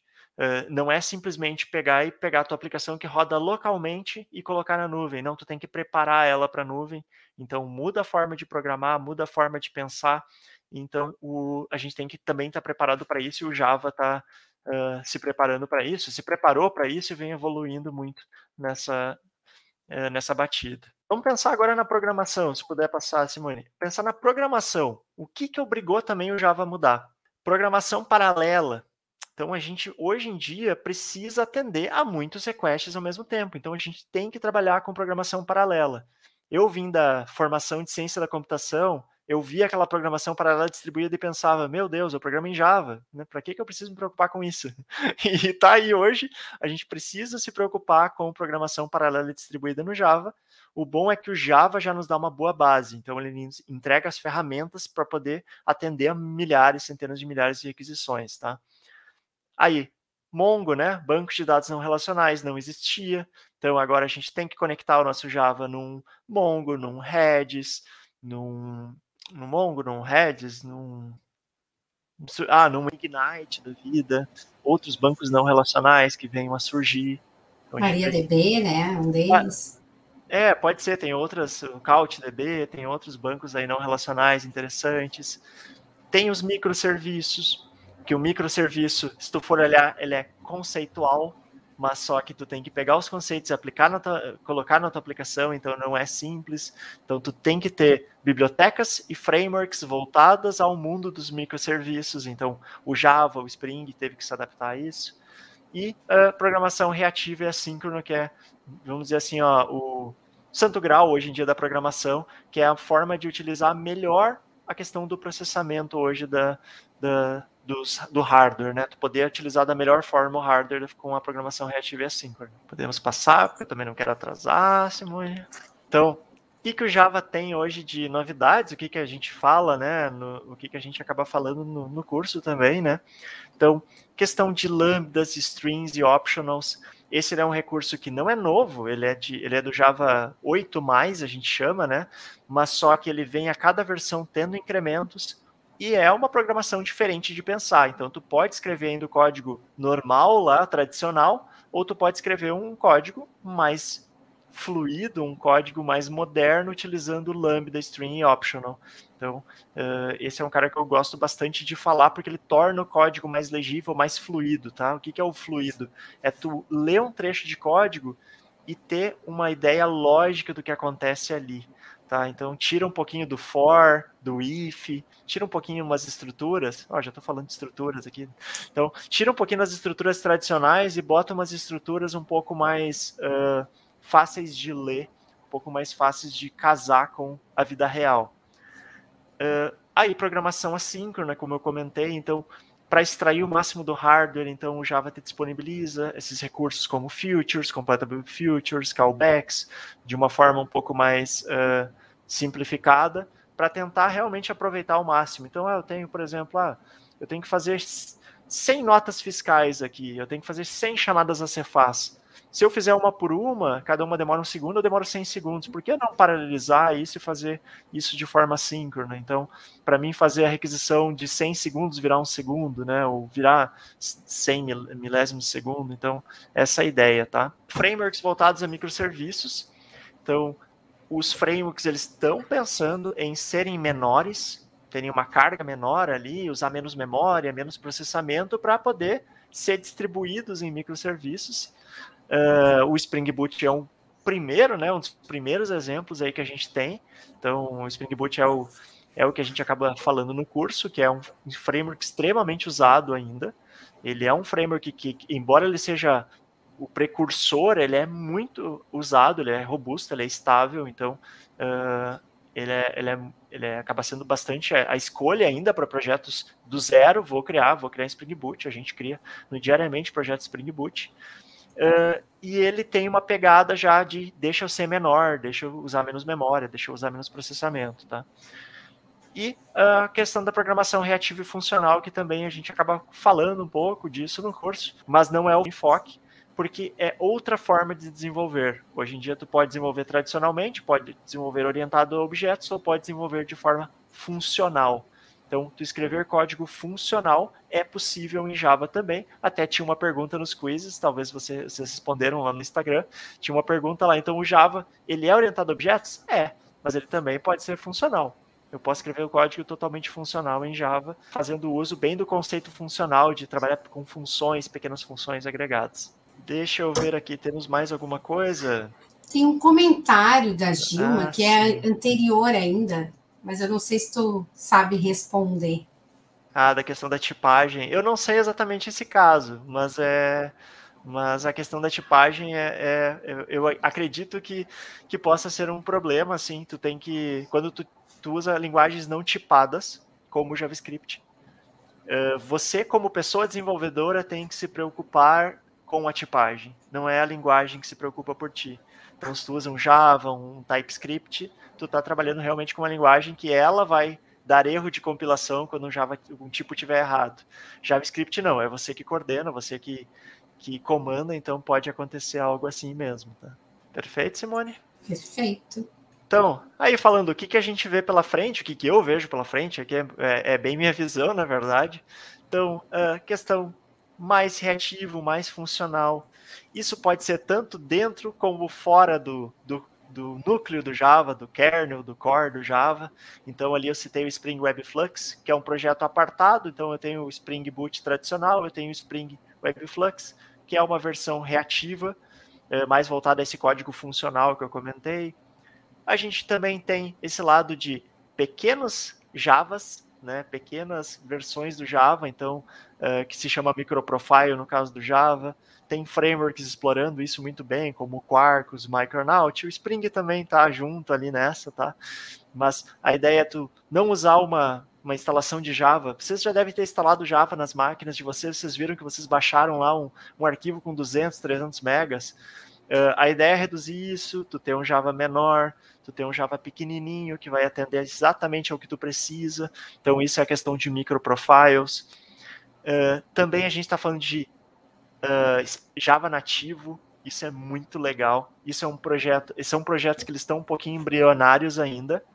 Uh, eu não uso nenhum em produção ainda, embora é tipo é aquilo que gostaria, mas ainda não está, ainda não julgamos que está maduro para tal. Mas a ideia de compilar Java para um código nativo.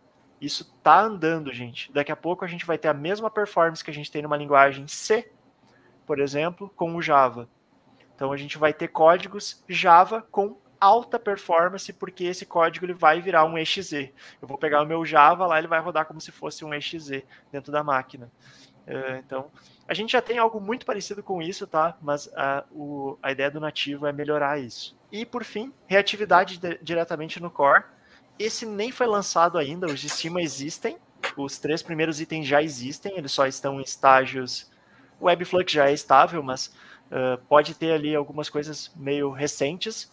A questão do último ali não foi lançado ainda, ele está em preview no Java, que é eu ter realmente o conceito de reatividade direto lá dentro do Java. Então, eu poder escrever um código tradicional, igual a gente vai fazer no curso, e ter performance de código funcional usando o máximo do hardware uh, possível. Então, daqui a pouco a gente está escrevendo código bem bonitinho, bem legível, de uma forma tradicional ali. A gente troca a versão do Java e tem uma performance absurda. Eu estou ansioso por essa versão do Java aí a 19 aí em diante, né? Porque ainda não é uh, ainda não é estável é a versão com essa funcionalidade dentro do Java. Então, mais uma vez aí o perfil do profissional, né, inquieto, ansioso já com as novidades, né? Tá aí querendo aprender mais e saber e atualizar o Java já, já usar o, as coisas novas, né, Gilberto?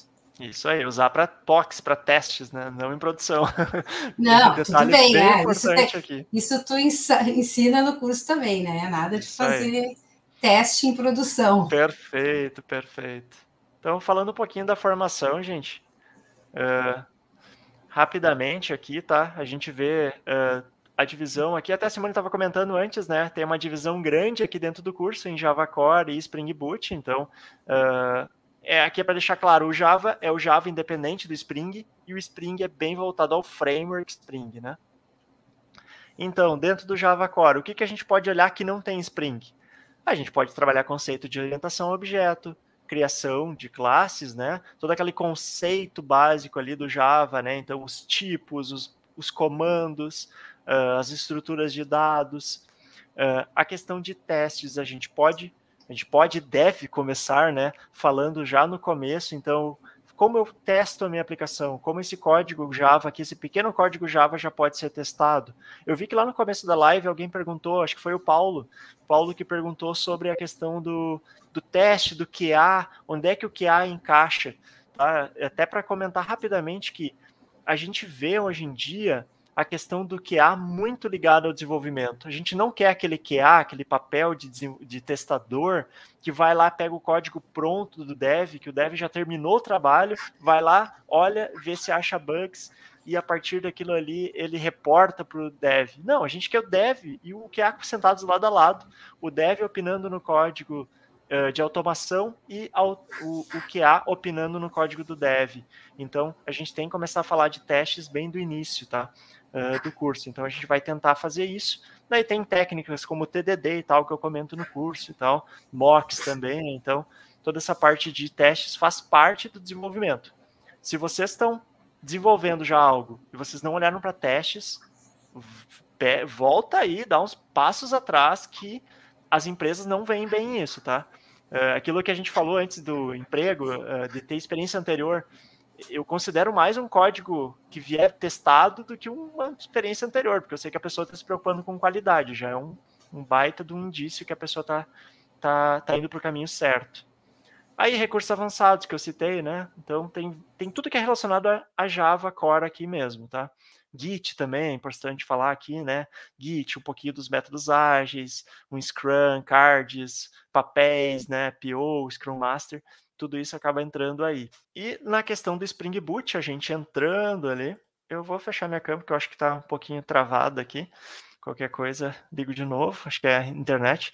Uh, o Spring Boot, uh, a gente entra aqui realmente no framework. Vamos entender o que, que o framework pode nos ajudar. Por que, que eu botaria um Spring Boot na minha aplicação? Essa é a ideia, tá? Então, a gente fala ali dos conceitos básicos do Spring Boot, o que, que é um stereotype, como usar, quais stereotypes possíveis, como o que, que são os recursos lá do Spring. Então, Uh, como que eu boto um banco de dados no Spring? Por que, que isso é melhor do que botar um banco de dados numa aplicação sem Spring? Como que eu configuro um profile de produção para me levar para aplica essa aplicação para produção? E daí entra nos detalhes ali de, uh, embora não seja Spring, mas Hibernate, JPA, a gente acaba abordando nesse, nessa segunda parte, porque daí vocês já têm um ambiente web, digamos assim, vocês já estão construindo uma aplicação mais, mais robusta, com mais recursos, daí a gente fala de Hibernate, de banco de uh, conectado a banco de dados, mas de uma forma uh, relacional, objeto relacional, né, que é o que o, que o Hibernate faz para nós. Aí a gente fala também de REST, conceitos REST, como que eu entrego uma API, como que eu exponho uma API, como que eu faço para consumir uma API usando uma, uma aplicação como o Postman, ou o próprio Swagger, que é uma forma de expor APIs que fica documentado, fica bem bonita, bem legal para distribuir. E a gente entra até nos conceitos ali de deploy, tá? Então, como que eu faço um deploy? Como que isso aqui vai para produção de fato? A gente faz deploy lá no Heroku, que tem disponível para vocês subirem lá gratuitamente uma aplicação Java, vocês podem subir ela lá, fazer ela funcionar de fato na web, né? Não apenas funcionar na máquina de vocês, mas funcionar lá na web. Depois é só colocar o frontzinho HTML, CSS, JavaScript ali e tu já tem uma aplicação publicada, vamos pensar assim, né? Uh, e também a questão dos testes, a gente evolui um pouco mais também por causa dos testes voltados a Spring. A gente tem testes bem específicos que são Spring aqui nesse caso, tá? respondendo ali as perguntas, Cristiano, Java para sistemas embarcados? Sim, tu pode ter Java em sistemas embarcados, sim, tá? Na verdade, tu pode rodar Java em qualquer lugar que tenha uma JVM disponível.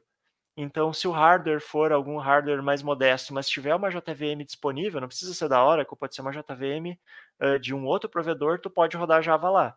E a partir do momento que a gente tem Java nativo, a gente pode rodar em qualquer hardware, né?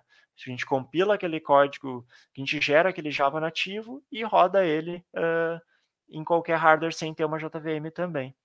Uh, o Luiz também perguntou aí o null pointer. Null pointer ainda é um problema, Luiz. A gente foge dele, tá?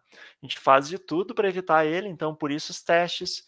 Uh, porque o null pointer em si ele não é um problema. Ele nos indica que a gente cometeu uma, uma gafe ali, né? Mas ainda assim ainda pode ocorrer o problema de null pointer, a gente tem que testar. Então, não é como o Kotlin, por exemplo, que aboliu esse conceito, né? Uh, vamos criar variáveis que são auto, são seguras, digamos assim. Não, o, o, Java ainda não tem esse conceito, tá, Luiz? Ainda, ainda. Se quiser, se tiver mais alguma pergunta, podem escrever, gente, só para mostrar para vocês esse, esse board, tá?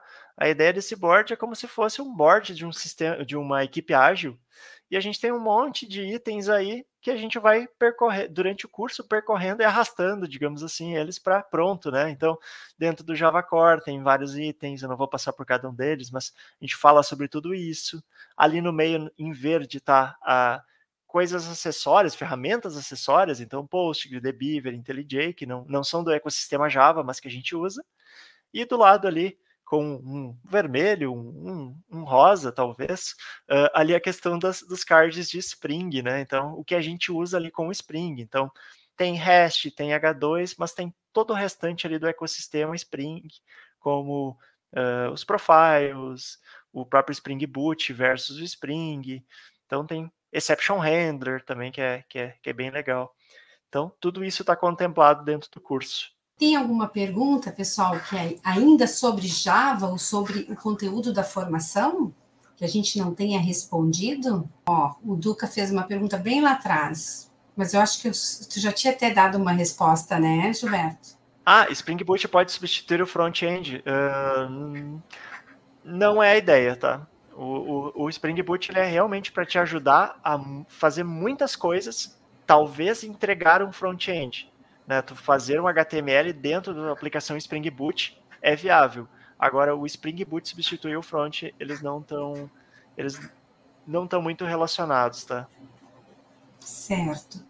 Mais alguma pergunta, gente? Ah, Poliana. Pode perguntar, Poliana. Tu fez um monte de pergunta bacana. Enriquece o conteúdo aqui. Ah, a Luana disse que tá ok. Bacana, gente. Então, vamos ver um pouco mais aqui indo para os finalmente, para o nosso sorteio. Vou falar rapidamente sobre os valores da formação, né? Então, a gente já falou aí em, em 90 horas, três meses. Nós usamos a plataforma do Moodle, que foi atualizada para salvar os materiais e colocar é, a avaliação, a, também a lista de chamada, de presença, tudo é feito pelo nosso ambiente ali na plataforma do Moodle. O que mais, né, sobre as nossas aulas? São ao vivo, né, com a presença aqui do Gilberto, é, só que vocês vão estar numa sala e a conversa vai ser até mais fluida, né? E ficam gravadas depois para que vocês possam rever. Mas o ideal é que vocês estejam presentes para aproveitar todo o conhecimento do Gilberto, para fazer exercícios, para tirar dúvidas, e acontece um erro, apesar de a gente não estar ali no presencial olhando o código, a gente consegue compartilhar a tela e consegue resolver o problema. É, são síncronas, Poliana, sim, são no mesmo momento, que nem a gente está aqui agora, vocês vão ter é, esse horário e grava-se para depois vocês assistirem o conteúdo é sempre atualizado. Então, por mais que a apostila está ali, pode ter uma versão que passou, uma release, Gilberto vai estar tá trazendo para vocês o que está se usando hoje. Tanto é que ele já trouxe aqui para vocês coisas ainda que nem estão sendo usadas, mas já estão na mira, né? Se durante a formação já tem alguma coisa que está se evoluindo, já é se dando tempo visto também. Sobre vagas, até teve uma pergunta ali que a Cláudia respondeu, né? A gente tem um, um, toda sexta-feira a gente manda uma news com as vagas que o mercado é, publica no nosso site e a gente passa isso para todos os alunos. Mas também a gente tem falado com algumas parcerias. Ontem mesmo falamos com uma empresa bem grande aqui do Rio Grande do Sul. Hoje já marcamos uma cal com uma outra. Então está surgindo aí algumas empresas que vão receber nossas indicações, tá? Então, assim, aqueles alunos que tiverem realmente fazendo os exercícios, acompanhando as aulas, porque a gente tem esse feedback pelo instrutor, a gente vai poder estar tá indicando, sim, tá bom? É, e o certificado é um certificado de presença, mas é um certificado que tem o código de validação, que pode ser validado lá no nosso ambiente do Moodle, e vocês podem colocar ele no LinkedIn para também poder fazer propaganda, né, do, do seu aprendizado. Que mais, gente? Uma coisa que é super importante. Dá para fazer curso pelo celular? Não. Não dá para fazer pelo celular. Vocês precisam ter um notebook ou um PC, tá? Que tenha no mínimo 4 GB de RAM. Mas tem gente que já consegue ter um pouquinho mais e é o melhor, tá? Sistema operacional, tudo bem, Windows, macOS, mas a gente aconselha mais o ambiente Windows. Tô certa, Gilberto? Mas também dá para trabalhar no, no Mac. Pode ser Linux, eu uso Linux, gente. Pode ser ah, Linux, sim, tá liberado sim. Linux, Windows. Linux melhor ainda, né? uh, banda de internet, no mínimo com 10 mega, tá, pessoal? E se vocês tiverem, no mínimo, um microfone, claro, tem fone de ouvido para conseguir falar, fazer questionamento. E se tiverem a, a, câmera, melhor ainda, né? Porque é legal o instrutor ver as carinhas de vocês, ver a interação, dá para saber se, se, se entendeu, se não entendeu, até pelo olhar. Mas a gente entende que muita gente, mesmo tendo câmeras, às vezes fecha. Mas o chat é para ser usado e uh, o fone também, a gente usar o áudio para fazer questionamento, tá? Então, isso são informações importantes que vocês precisam ter para realizar o treinamento. Quanto é o valor da nossa formação? Bom, ela está 12 de 305, mas o que eu quero mais trazer de importante para vocês, bom, deixa eu só falar aqui. Ex-aluno da Target é sempre aluno da Target. Então, sempre tem um desconto a mais, né? Só não em promoção acumulativa. Então, no caso, no valor à vista, vai ter 5% a mais, e no valor parcelado, se não tem desconto, vai ter. Se for funcionário de empresa conveniada, nós temos várias empresas, então é bom, é importante vocês disserem sempre: ah, eu trabalho no Cicred, eu trabalho na AppSul, eu trabalho é, na Procergs, que daí a gente vai saber se são empresas conveniadas. E nós temos um incentivo muito bacana, porque nós queremos mais meninas, mais mulheres, né? Poliana, Amanda, Luana, na TI além de pessoas pretas ou pardas. A gente quer cada vez mais trazer essa diversidade e é uma busca também das empresas. Então, isso é um desconto bacana, 25% para fazer a formação, quem tiver dentro dessa categoria, tá? Mas mais importante do que isso é que a gente tem um desconto especial de 20%, de até 20% no valor à vista, ou 10 no parcelado. Então, podem esquecer aquele valor lá e vamos se ater aqui. Porque nem todo mundo vai ganhar a formação, né? Mas o mais importante é vocês entenderem, até 20%, tá? Para que vocês venham fazer o treinamento conosco. E a gente ainda quer incentivar mulheres e pessoas pretas ou pardas, trazendo mais diversidade para a ATI. E chegamos então, olha, a gente até que ficou ali no tempo, né? 21. Eu tenho aqui 21h30, olha só, gente, hora do sorteio, né? E vamos então ao sorteio. Importante, pessoal. Como é que a gente vai fazer o sorteio? Tem que conhecer lógica de programação, já ter feito alguma coisa com algoritmos, entender um pouquinho de lógica. Ter disponibilidade para fazer o curso agora, dia 23, segunda-feira e permanecer até o fim. Todo mundo que está aqui já está até o fim, né? Então, vocês têm que comentar ali nos comentários do YouTube mesmo, no chat, vem para TT. Ó, tem gente que já está comentando. Bruno já comentou. A gente vai dar aí uns dois minutinhos aí, vamos lá. 21 agora e 33. Até 21 e 35. Coloquem aí, vem para TT. E aí todo mundo que colocar vem para TT, vai participar do, do sorteio. Não esqueçam, tem que fazer dia 23, tem que conhecer também lógica de programação. E aí, o que, que vai acontecer? Nós vamos sortear. Vocês vão ver o sorteio ao vivo. A pessoa que sair sorteada entra em contato conosco pelo WhatsApp, tá ali, o 9587 1186, ou pelo atendimento. Também assim, ó, não precisa decorar o número, é só entrar no nosso site. Primeira coisa que aparece lá é o botão do WhatsApp, bem gordinho, verdinho ali, sempre pula na tela. Então, se quiserem, façam isso. Pessoal, uma coisa também que eu vou pedir para vocês, enquanto vocês estão botando aí, vem para TT. É, se curtiram, dá um curtido lá no nosso, no nossa live lá no YouTube, para o YouTube entender que, né, a gente é um pouquinho relevante, e, e a gente também vai estar tá mandando para vocês o link da gravação, vai estar tá mandando os PDFs aqui, que a gente, do, da nossa live, para vocês poderem rever algum conteúdo, tá? Olha aí, ó. Não adianta botar duas vezes, tá, gente? Não, o sorteio não vai somar, vai pegar só uma vez. Ó, mais um pouquinho. Será que todo mundo já foi? E aí, quantos temos aí? Importante que quem tem um nome, tipo assim, futebol de campo, vai aparecer futebol de campo lá. Daí a gente não sabe quem é a pessoa, mas daí, né, entra em contato conosco e diz. Né, é bom até se puder ser agora para nós. É, o, o, o, futebol de campo foi o Paulo ali, o Paulo, o grande Paulo, já escreveu algumas questões ah, ali. Então tô tá. acompanhando aí, tô, tô só, no, só no acompanhamento. Tem o Descomplica Tech, Eita, pai, vou ganhar treinamento mais top das galáxias. que show, que show. Karina, Breu. Bora associar? Vai lá, gente, últimos segundos. Todo mundo mandou? Últimos segundos, é, 21 e 35, acho que deu. Podemos sortear, Natan.